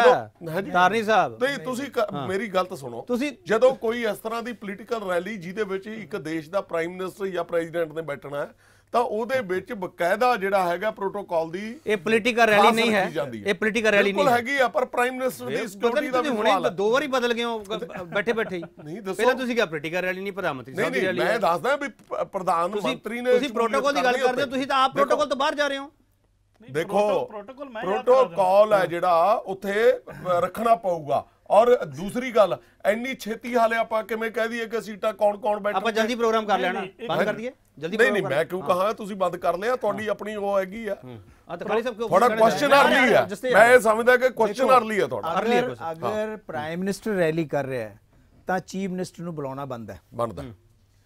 ਅਗਰ ਨਰਿੰਦਰ ਮੋਦੀ ਬੀਜੇਪੀ ਦਾ ਲੀਡਰ ਹੋ ਕੇ ਰੈਲੀ ਕਰ ਰਹੇ ਹੈ ਔਰ ਉਹ 2019 ਦੇ ਇਲੈਕਸ਼ਨ ਵਾਸਤੇ ਕਰ ਰਹੇ ਹੈ ਉਹ ਇੱਕ ਪਾਰਟੀ ਦੀ ਰੈਲੀ ਹੈ ਇਸ ਕਰਕੇ ਦੋਨਾਂ 'ਚ ਫ਼ਰਕ ਆਪਾਂ ਨੂੰ ਕਰਨਾ ਪਏਗਾ ਕਰਨਾ ਪਏਗਾ। ਇਹ ਡਿਪੈਂਡ ਇਹ ਹੁਣ ਸਾਨੂੰ ਨਹੀਂ ਪਤਾ ਕਿ ਇਹ ਰੈਲੀ ਜਿਹੜੀ ਹੈਗੀ ਹੈ। ਇਹ ਬੀਜੇਪੀ ਐਜ਼ ਬੀਜੇਪੀ ਦੀ ਰੈਲੀ ਹੈ ਜਿਹਦੇ ਵਿੱਚ ਨਰਿੰਦਰ ਮੋਦੀ ਆ ਰਹੇ ਹੈ ਜਿਹੜੇ ਕਿ ਪ੍ਰਾਈਮ ਮਿਨਿਸਟਰ ਨੇ ਦੇਸ਼ ਦੇ ਜਾਂ ਪ੍ਰਾਈਮ ਮਿਨਿਸਟਰ ਰੈਲੀ ਕਰ ਰਿਹਾ ਹੈ ਜਿਹਦੇ ਵਿੱਚ ਉਹ ਬਾਕੀ ਖਾਲਿਦ ਸਾਰੇ ਸਾਹਿਬ BJP ਖਾਲਿਦ ਨੂੰ ਬੁਲਾ ਰਹੇ ਪੰਜਾਬ ਭਾਜਪਾ ਦੇ ਪ੍ਰਧਾਨ। ਪੰਜਾਬ ਭਾਜਪਾ ਦੇ ਪ੍ਰਧਾਨ ਜਦੋਂ ਇਹ ਗੱਲ ਕਹਿ ਰਹੇ ਹੈਗੇ ਆ ਕਿ 2019 ਦੇ ਵਿੱਚ ਸਭ ਤੋਂ ਪਹਿਲੀ ਰੈਲੀ ਹੈ ਜਿਹੜੀ ਉਹ ਪੰਜਾਬ ਨੂੰ ਮਿਲੀ ਹੈ। ਫਿਰ ਨਾਲ ਕਹਿ ਰਹੇ ਸ਼੍ਰੋਮਣੀ ਅਕਾਲੀ ਦਲ ਸਾਡਾ ਸਹਿਯੋਗ ਕਰੇਗਾ। ਨਾਲ ਜਦੋਂ ਇਹ ਗੱਲ ਕਹਿ ਰਹੇ ਆ ਕਿ ਸਾਰੇ ਪੰਜਾਬੀਆਂ ਨੂੰ ਖੁੱਲਾ ਸੱਦਾ ਉਹ ਇੱਥੇ ਆ ਕੇ ਧੰਨਵਾਦ ਕਰਨ ਪ੍ਰਧਾਨ ਮੰਤਰੀ ਸਾਹਿਬ ਦਾ। ਦੇਖੋ ਇਹਦਾ ਮਤਲਬ ਕੀ ਹੈਗਾ? ਇਹਦੇ ਵਿੱਚ ਇੱਕ ਹੋਰ ਚੀਜ਼ ਵੀ ਹੈ। ਜਿਹੜੇ ਮਾਝੇ ਦੇ ਟਕਸਾਲੀ ਜਿਹਨੂੰ ਆਪਾਂ ਕਹਿੰਦੇ ਆ ਟਕਸਾਲੀ ਆਗੂ ਛੱਡ ਕੇ ਗਏ ਆ ਉਹ ਇਸ ਰੈਲੀ ਨੂੰ ਕਾਮਯਾਬ ਹੋਣ ਦਿੰਦੇ ਆ ਜਾਂ ਉਹ ਕਿੰਨਾ ਕੁ ਰੋਲ ਪਲੇ ਕਰਦੇ ਆ ਜਾਂ ਨਹੀਂ ਪਲੇ ਕਰਦੇ ਇਹ ਚੀਜ਼ ਵੀ ਸਾਹਮਣੇ ਆਏਗੀ ਇਹਦੇ ਵਿੱਚ ਤੁਹਾਨੂੰ ਲੱਗਦਾ effective ਉਹ ਸਾਰੇ ਹੋਊਗਾ? ਮਾਝੇ ਲੱਗਦਾ effective ਉਹ ਹੋਊਗਾ? ਸਾਰੇ ਮਾਝੇ ਦੇ। ਨਹੀਂ ਤੁਹਾਨੂੰ ਲੱਗਦਾ ਨਹੀਂ, ਹੋਊਗਾ? ਪਾ ਸਕਦੇ ਆ ਪਾ ਸਕਦੇ। ਇਹ ਨਹੀਂ ਉਹ ਇਹ ਡਿਪੈਂਡ ਕਰਦਾ ਹੈ ਕਿ ਉਹ ਜਿਹੜੇ ਬੰਦੇ ਹੈਗੇ ਆ ਉਹ ਜਿਹੜੇ ਕਹਿੰਦੇ ਆ ਕਿ ਸਾਡੇ ਨਾਲ ਜਨਤਾ ਹੈਗੀ ਆ ਅਸੀਂ ਪੰਥ ਦੇ ਹੋ ਹੈਗੇ ਆ ਕਿਆ ਉਸ ਰੈਲੀ ਦੇ ਵਿੱਚ ਉਹ ਆਪਣਾ 네ਗੇਟਿਵ ਯੋਗਦਾਨ ਪਾਉਂਦੇ ਆ ਜਾਂ ਨਹੀਂ ਪਾਉਂਦੇ ਰੈਲੀ ਨੂੰ ਕਾਮਯਾਬ ਹੋਣ ਦਿੰਦੇ ਆ ਜਾਂ ਨਹੀਂ ਹੁੰਦੇ? ਜਾਂ ਅਕਾਲੀ ਦਲ ਜਿਹੜਾ ਹੈਗਾ ਮਾਝੇ ਦੇ ਵਿੱਚੋਂ ਕਿੰਨੀ ਮੋਬਿਲਾਈਜੇਸ਼ਨ ਕਰਦਾ ਹੈ ਇਸ ਰੈਲੀ ਵਾਸਤੇ? ਇਹਦੇ ਉੱਪਰ ਵੀ ਡਿਪੈਂਡ ਕਰਦਾ। ਠੀਕ ਹੈ। ਰਠੌਰ ਸਾਹਿਬ ਸਵਾਲ ਇਸ ਕਰਕੇ ਆ ਰਿਹਾ ਸੀਗਾ ਵੀ ਕਿਹਨੂੰ ਕਿਹਨੂੰ ਬੁਲਾਇਆ ਜਾਊਗਾ ਉੱਥੇ? ਇਸ ਕਰਕੇ ਸਵਾਲ ਹੈ ਕਿਉਂਕਿ ਕਾਲੀਆਂ ਟੇਪਾਂ ਲਾਈਆਂ ਗਈਆਂ ਸੀ ਜਦੋਂ ਇਸ ਤੋਂ ਪਹਿਲਾਂ ਕਰਤਾਰਪੁਰ ਦਾ ਸਮਾਗਮ ਹੋਇਆ ਸੀਗਾ। ਹੁਣ ਕਾਲੀਆਂ ਟੇਪਾਂ ਕੋਈ ਲਾਉਣ ਦੀ ਤਿਆਰੀ ਤਾਂ ਨਹੀਂ ਬੈਠਾ ਹੋਇਆ ਤੁਹਾਡੇ ਵੱਲੋਂ? ਦੇਖੋ ਪਹਿਲੀ ਗੱਲ ਤਾਂ ਇਹ ਸਾਫ਼ ਤੌਰ ਤੇ ਜਿਹੜਾ ਉਹਨਾਂ ਦਾ ਬਿਆਨ ਹੈ ਕੇਪੀ ਜੀ ਇਹ ਸਾਬਤ ਕਰ ਰਿਹਾ ਹੈ ਕਿ ਇਹ ਪੂਰਨ ਤੌਰ ਤੇ ਇੱਕ ਪੋਲਿਟੀਕਲ ਰੈਲੀ ਹੋਣ ਜਾ ਰਹੀ ਹੈ। ਪਿੱਛੇ ਮਲੋਟ ਦੇ ਅੰਦਰ ਜਿਹੜੀ ਰੈਲੀ ਦਾ ਤੁਸੀਂ ਜ਼ਿਕਰ ਕੀਤਾ ਕਿ ਉਹਦੇ ਵਿੱਚ ਇਹਨਾਂ ਨੇ ਮੁੱਖ ਮੰਤਰੀ ਸਾਹਿਬ ਨੂੰ ਬੁਲਾਇਆ। ਉਹ ਇੱਕ ਧੰਨਵਾਦ ਰੈਲੀ ਕਿਸਾਨਾਂ ਵੱਲੋਂ ਰੱਖ ਕੇ ਔਰ ਉਹ ਵੀ ਇੱਕ ਜਿਹੜੀ ਗੱਲ ਤੁਸੀਂ ਕਹੀ ਗੁਰਦਾਸਪੁਰ ਕਿਉਂ ਰੱਖੀ ਗਈ? ਉਹ ਮਲੋੜ ਚ ਕਿਉਂ ਰੱਖੀ ਗਈ ਸੀ? ਜਾਂ ਜਿਹੜੀ ਰੈਲੀ ਇਹਨਾਂ ਨੇ ਪਹਿਲਾਂ ਇਲੈਕਸ਼ਨ ਦੇ ਟਾਈਮ ਇੱਕ ਰੈਲੀ ਕੀਤੀ ਸੀ ਮੋਗੇ ਦੇ ਅੰਦਰ ਹੀ ਕਿਉਂ ਰੱਖੀ ਗਈ ਸੀ? ਦੇਖੋ ਮੈਂ ਖਾਲਿਦ ਸਾਹਿਬ ਦੀ ਗੱਲ ਨਾਲ ਸਹਿਮਤ ਹੈ ਕਾਫੀ ਹੱਦ ਤੱਕ ਕਿ ਬੀਜੇਪੀ ਜਿਹੜੀ ਧਰਮ ਦੀ ਰਾਜਨੀਤੀ ਕਰਦੀ ਹੈ ਪੋਲਰਾਈਜੇਸ਼ਨ ਕਰਨ ਦੀ ਕੋਸ਼ਿਸ਼ ਕਰਦੀ ਹੈ ਗੁਜਰਾਤ ਪਠਾਨਕੋਟ ਜੰਮੂ ਰੀਜਨ ਜਿਹੜਾ ਏਰੀਆ ਉਹ ਹਿੰਦੂ ਬਹੁਲ ਏਰੀਆ ਹੈ ਜਾਂ ਮੋਗੇ ਚ ਇਹਨਾਂ ਨੇ ਕੀਤੀ ਹੈ ਦਾ ਉਹ ਖੇਡਣ ਆ ਰਹੇ ਮੋਦੀ ਸਾਹਿਬ ਹਾਂ ਬਿਲਕੁਲ ਇੱਕ ਛੋਟਾ ਬ੍ਰੇਕ ਬ੍ਰੇਕ ਤੋਂ ਵਾਪਸ ਆਵਾਂਗੇ ਧਰਮ ਦਾ ਕਾਰਡ। ਕੀ ਇੱਥੇ ਖੇਡਿਆ ਜਾ ਸਕਦਾ ਹੈ ਪੰਜਾਬ ਦੇ ਵਿੱਚ ਜਿੱਥੇ ਭਾਈਚਾਰਕ ਸਾਂਝ ਦਾ ਸਾਂਝ ਦਾ ਜ਼ਿਕਰ ਹੁੰਦਾ ਤੇ ਸ਼ਾਇਦ ਧਰਮ ਦੇ ਕਾਰਡ ਖੇਡਣ ਦੀ ਪੰਜਾਬ ਦੀ ਧਰਤੀ ਉਨੀ ਇਜਾਜ਼ਤ ਨਹੀਂ ਦਿੰਦੀ ਹੈ ਕਿ ਜਿਸ ਤਰੀਕੇ ਨਾਲ ਕਾਰਡ ਖੇਡੇ ਜਾਂਦੇ ਆ। ਇਹ ਮੁਹੰਮਦ ਖਾਲੀ ਤੋਂ ਸਮਝਣ ਦੀ ਕੋਸ਼ਿਸ਼ ਕਰਾਂਗੇ। ਸ਼ਾਇਦ ਅਸੀਂ ਇਹ ਤੇ ਜ਼ਿਆਦਾ ਬਿਹਤਰ ਤਰੀਕੇ ਨਾਲ ਨਾ ਚਾਨਣਾ ਪਾ ਸਕੀਏ ਕਿ ਪੰਜਾਬ ਦੀ ਧਰਤੀ ਤੋਂ ਧਰਮ ਦਾ ਕਾਰਡ ਖੇਡਿਆ ਸਫਲ ਹੁੰਦਾ ਜਾਂ ਨਹੀਂ ਹੁੰਦਾ। ਬ੍ਰੇਕ ਤੋਂ ਵਾਪਸ ਆ ਰਹੇ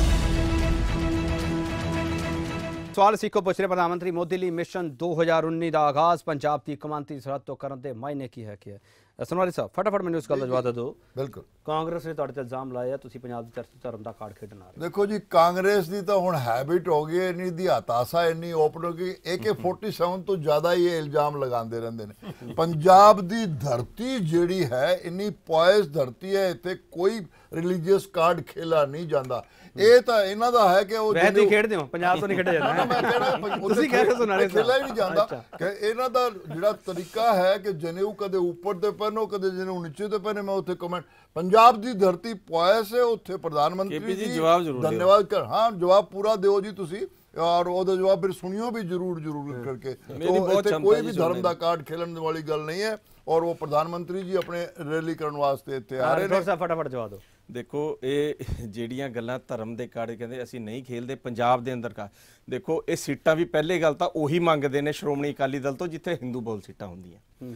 ਔਰ ਜਿਹੜਾ ਇਹਨਾਂ ਦਾ 9 ਮਾਸ ਦਾ ਰਿਸ਼ਤਾ ਹੈ ਉਹ ਪਿਛਲੇ ਅਸੈਂਬਲੀ ਦੇ ਇਲੈਕਸ਼ਨ ਤੋਂ ਇੱਕ ਵਾਰ ਦਿਖਣ ਲੱਗ ਗਿਆ ਸੀ ਸਾਰਿਆਂ ਨੂੰ। ਉਹ ਬਾਅਦ ਚ ਜਦ ਇਹਨਾਂ ਨੇ ਦੇਖਿਆ ਵੀ ਸਾਡਾ ਹੁਣ ਉਰੇ ਖੇਲ ਖਰਾਬ ਹੋ ਜਾਣਾ ਉਹ 9 ਮਾਸ ਦਾ ਰਿਸ਼ਤਾ ਤੁਸੀਂ ਇਹਨਾਂ ਦਾ ਨੋ ਮਾਸ ਦੁਬਾਰਾ- ਛੱਡੋ ਨਾ ਦੁਬਾਰਾ ਦੁਬਾਰਾ ਤੁਸੀਂ ਆਪਦੀ ਆਪਦੀ ਪੋਲੀਟੀਕਲ ਪੋਜੀਸ਼ਨ ਦੇਖੋ ਮੁਲਕ ਦੇ ਵਿੱਚ ਕੀ ਹੈ। ਦੁਬਾਰਾ- ਦੁਬਾਰਾ ਤੁਸੀਂ ਆਪਦੀ ਪੋਜੀਸ਼ਨ ਦੇਖੋ ਰਟੋਰ ਸਾਹਿਬ ਮੁਲਕ ਦੇ ਵਿੱਚ ਕੀ ਹੈ ਦੇਖੋ। ਜਿਹੜੀ ਇਹ ਐਡੀ ਵੱਡੀ ਪਾਰਟੀ ਸਭ ਤੋਂ ਪੁਰਾਣੀ ਪਾਰਟੀ ਤੁਸੀਂ ਹਤਾਸ਼ਾ- 40 ਤੇ ਫਿਰਦੇ ਹੋ 40 44 ਅਸੀਂ ਤੇ ਅਸੀਂ ਗਲਤੀਆਂ ਕੀਤੀਆਂ ਲੋਕਾਂ ਨੇ ਸਾਨੂੰ ਸਬਕ ਸਿਖਾਇਆ ਔਰ ਇਹ ਜਿਹੜੇ ਇਹਨਾਂ ਨੇ 5 ਸਾਲ ਦੇ ਅੰਦਰ ਤੁਸੀਂ ਇਹਨਾਂ ਦੇ ਲੋਕਾਂ ਮਾਸ ਦੇ ਰਿਸ਼ਤੇ ਸਵਾਲ ਕਰਦੇ ਹੋ ਜਿਹੜਾ ਮਹਾਗੜ ਜੋ ਬਣਾ ਰਹੇ ਹੋ ਤੁਸੀਂ ਨੋ ਮਾਸ ਕਰ ਲਓ ਉਹਨਾਂ ਚ। ਅਹ, ਅਪ- ਇੱਕ ਤੁਸੀਂ ਦੇਖੋ ਸਾਡੇ ਕੋਲ 14 ਪਾਰਟੀਆਂ ਸੀ ਯੂਪੀਏ ਦੇ ਅੰਦਰ।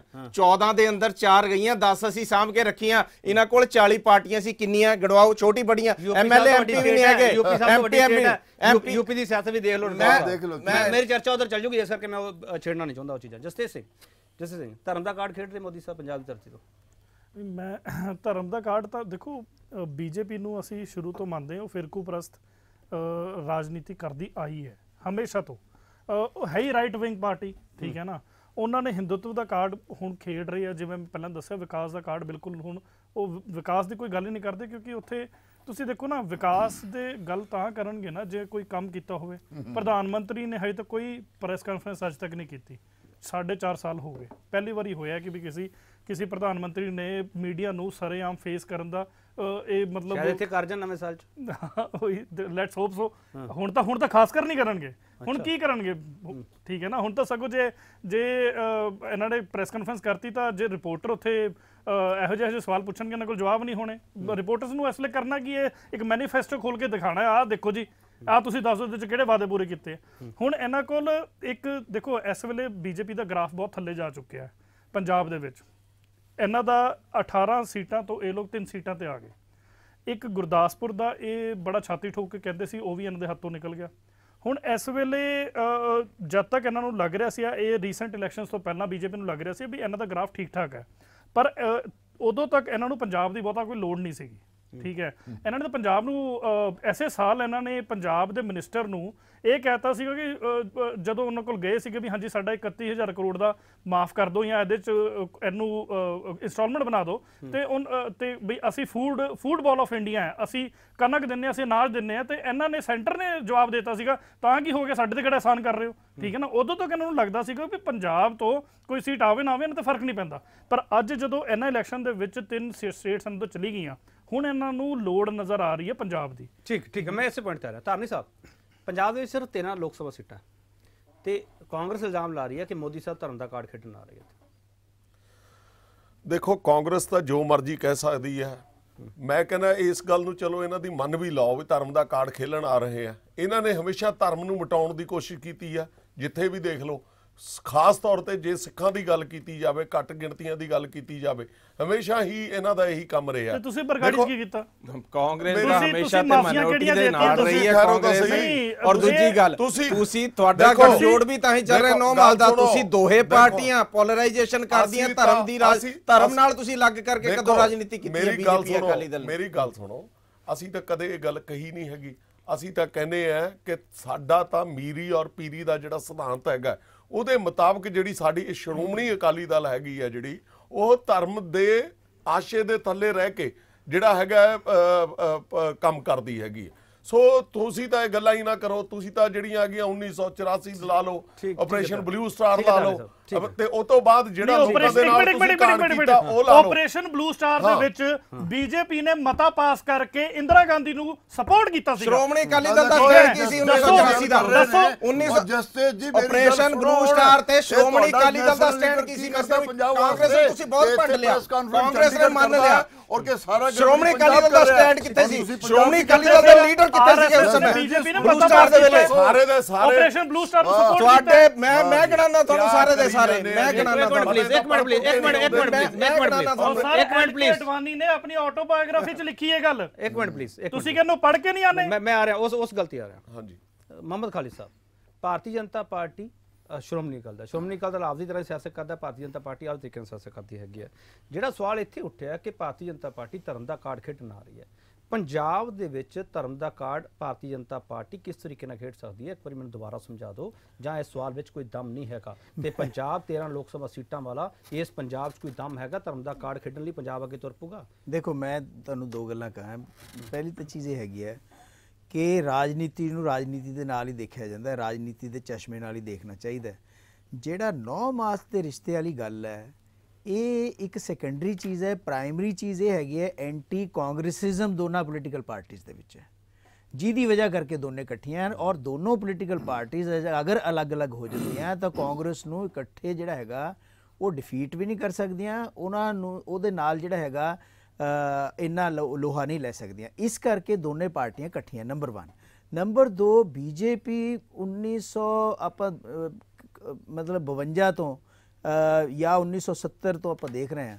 ਪਹਿਲਾਂ ਜਨਸੰਘ ਸੀਗੀ ਉਸ ਵੇਲੇ ਵੀ ਇੰਨਾ ਜ਼ਿਆਦਾ ਸੀਟਾਂ ਨਹੀਂ ਸੀਗੀਆਂ ਉਸਕੇ ਬਾਅਦ ਬੀਜੇਪੀ ਬਣੀ।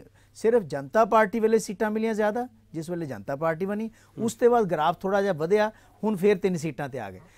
ਬੀਜੇਪੀ ਜਿਹੜੀ ਹੈਗੀ ਹੈ ਉਹ ਅਕਾਲੀ ਦਲ ਨਾਲ ਮਿਲ ਕੇ ਹੀ ਸੀਟਾਂ ਲੈ ਸਕਦੀ ਹੈ। ਇੰਡੀਪੈਂਡੈਂਟਲੀ ਬੀਜੇਪੀ ਅਗਰ ਇਲੈਕਸ਼ਨ ਲੜੇਗੀ ਤਾਂ ਬੀਜੇਪੀ ਦੀਆਂ ਸੀਟਾਂ ਇੰਨੀਆਂ ਕੀ ਰਹਿਣਗੀਆਂ? ਪਹਿਲੀ ਚੀਜ਼।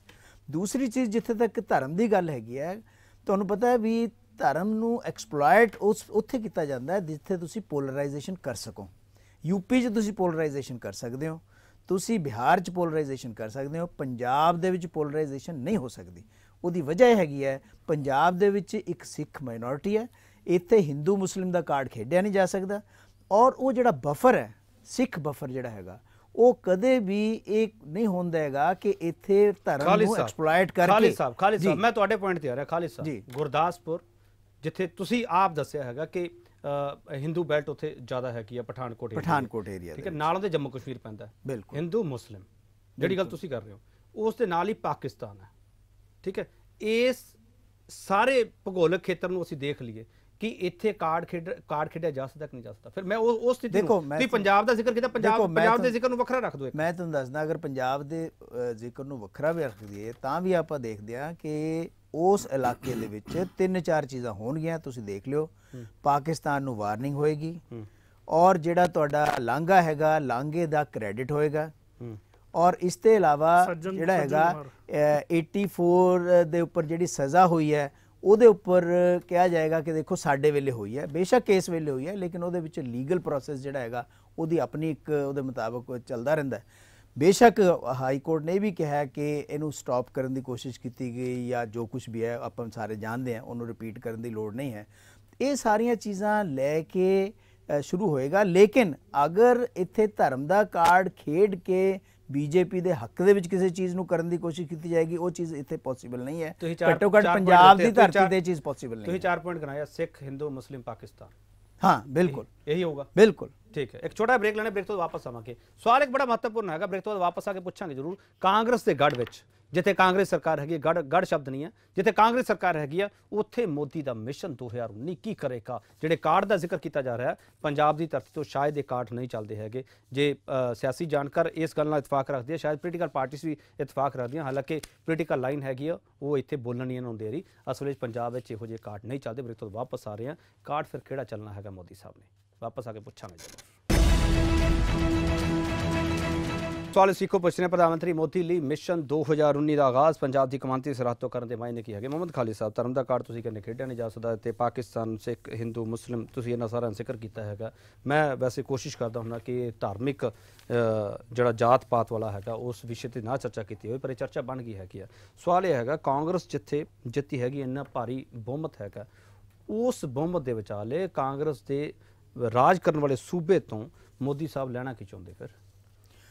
ਦੇਖੋ ਇੱਥੋਂ ਜਿਹੜਾ ਹੈਗਾ ਸ਼ੁਰੂਆਤ ਅਗਰ 2019 ਦੇ ਇਲੈਕਸ਼ਨ ਦੀ ਇੱਥੋਂ ਕਰਨੀ ਹੈ ਤਾਂ ਉਹ ਸ਼ੁਰੂਆਤ ਬੈਟਰ ਹੁੰਦਾ ਕਿ ਉਸ ਸਟੇਟ ਤੋਂ ਕਰਦੀ ਜਿੱਥੇ ਬੀਜੇਪੀ ਜਿਹੜੀ ਹੈਗੀ ਆ ਉਹ ਕਾਫੀ ਸਟਰੋਂਗ ਫੂਟਿੰਗ ਤੇ ਆ ਉਹ ਬੈਟਰ ਹੁੰਦਾ।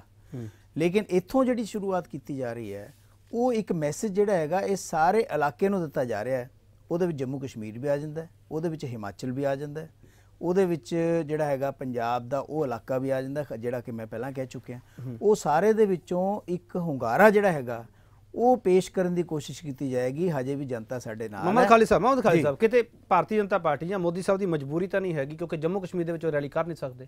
ਫਿਰ ਬਾਈਦਾ ਪੰਜਾਬ। ਨਹੀਂ ਨਹੀਂ ਜੰਮੂ ਚ ਕਰ ਸਕਦੇ ਰੈਲੀ। ਕਰ ਸਕਦੇ ਨਹੀਂ ਕਰ? ਸਕਦੇ? ਬਿਲਕੁਲ ਨਹੀਂ ਜੰਮੂ 'ਚ ਉੱਥੋਂ ਰੈਲੀ ਮਿਸ਼ਨ ਉੱਥੋਂ ਕੀਤੀ ਮਿਸ਼ਨ 2019 ਦਾ ਆਗਾਜ਼ ਕੀਤਾ ਜਾ ਸਕਦਾ ਜੰਮੂ ਨਹੀਂ ਮਿਸ਼ਨ 2019 ਦਾ ਆਗਾਜ਼ ਉੱਥੋਂ ਨਹੀਂ ਕੀਤਾ ਜੀ, ਸਕਦਾ। ਸਵਾਲ ਤਾਂ ਇਹੀ ਹੈ ਨਾ, ਫਿਰ ਉਹਨਾਂ ਲਈ ਬੱਚੇ ਕਿਹੜਾ ਸੂਬਾ? 2019 ਦਾ ਆਗਾਜ਼ ਜਿਹੜਾ ਹੈਗਾ ਅਗਰ ਉਹ ਪੰਜਾਬ ਦੇ ਵਿੱਚੋਂ ਕਰਦੇ ਆ ਤਾਂ ਇਹ ਸਾਰੇ ਸਟੇਟਸ ਨੂੰ ਤੁਸੀਂ ਦੇਖੋ ਨਾ ਜਿਵੇਂ ਹੁਣੀ ਗੱਲ ਹੋਈ ਸੀਗੀ ਆਪਣੇ ਰੈਲੀ ਕੀਤੀ ਉੱਥੇ ਆਪਣੇ ਮਲੋਟ।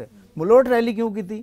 ਇਲੈਕਸ਼ਨ ਸੀਗਾ ਔਰ ਤੁਸੀਂ ਮੋਬਿਲਾਈਜੇਸ਼ਨ ਜਿਹੜੀ ਸੀਗੀ ਉਹ ਰਾਜਸਥਾਨ ਤੋਂ ਵੀ ਕਰ ਸਕਦੇ ਹਾਂ। ਨਾਲ ਹਰਿਆਣੇ ਚੋਂ ਵੀ ਕਰ ਸਕਦੇ। ਜਿੱਥੇ। ਤੁਹਾਡੀਆਂ ਸਰਕਾਰਾਂ ਹੈਗੀਆਂ। ਇਸੇ ਤਰੀਕੇ ਦੇ ਨਾਲ ਇੱਥੇ ਰੈਲੀ ਜਿਹੜੀ ਤੁਸੀਂ ਕਰ ਰਹੇ ਹੋ ਜਿਵੇਂ ਮੈਂ ਪਹਿਲਾਂ ਕਹਿ ਚੁੱਕਿਆ ਹਾਂ ਮੋਬਿਲਾਈਜੇਸ਼ਨ ਜਿਹੜੀ ਹੈਗੀ ਆ ਉਹ ਜੰਮੂ ਤੋਂ ਵੀ ਹੋਏਗੀ ਇਹਨਾਂ ਸਾਰੇ ਇਲਾਕਿਆਂ ਤੋਂ ਹੋਊਗੀ ਤੇ ਇੱਕ ਭਰਮੀ ਰੈਲੀ ਕੀਤੀ ਜਾ ਸਕੇ ਲੇਕਿਨ ਉਹਦੇ ਵਿੱਚ ਅਕਾਲੀ ਦਲ ਦਾ ਕੀ ਰੋਲ ਹੋਏਗਾ? ਕਿਆ ਉਹ ਉਨੀ ਜ਼ਿਆਦਾ ਮੋਬਿਲਾਈਜੇਸ਼ਨ ਕਰ ਸਕਦਾ ਜਾਂ ਕਰੂਗਾ? ਇਹ ਆਉਣ ਵਾਲੇ ਦਿਨਾਂ 'ਚ ਪਤਾ ਲੱਗੇਗਾ ਕਿਉਂਕਿ ਅਕਾਲੀ ਦਲ ਵੀ ਇਸ ਇਲਾਕੇ ਦੇ ਵਿੱਚ ਜਿਹੜਾ ਹੈਗਾ ਖਾਸ ਤੌਰ ਪਰ ਜਿਹੜੀ ਦਰਾੜ ਪਈ ਹੈ ਮਾਝੇ ਦੇ ਵਿੱਚ ਉਹਦੇ ਨਾਲ ਪ੍ਰਭਾਵਿਤ ਹੋ ਸਕਦਾ ਹੈ। ਠੀਕ ਹੈ। ਤਾਰਨੀ ਸਾਹਿਬ ਕਾਲੀ ਦਲ ਮਜ਼ਬੂਤ ਹੋ ਜਾਊਗਾ ਮੋਦੀ ਸਾਹਿਬ ਦੀ ਰੈਲੀ ਹੋਗੀ ਉੱਥੇ ਕਿਉਂਕਿ ਮਾਝੇ 'ਚ ਤੁਹਾਡੇ ਪੈਰ ਨਹੀਂ ਲੱਗਦੇ ਪਏ ਹੁਣ। ਪਹਿਲਾਂ ਤਾਂ ਤੁਹਾਡਾ ਕੁਐਸਚਨ ਮੈਂ ਇਹ ਸਮਝਦਾ ਕਿ ਅਕਾਲੀ ਦਲ ਪਹਿਲਾਂ ਹੀ ਮਜ਼ਬੂਤ ਹੈ।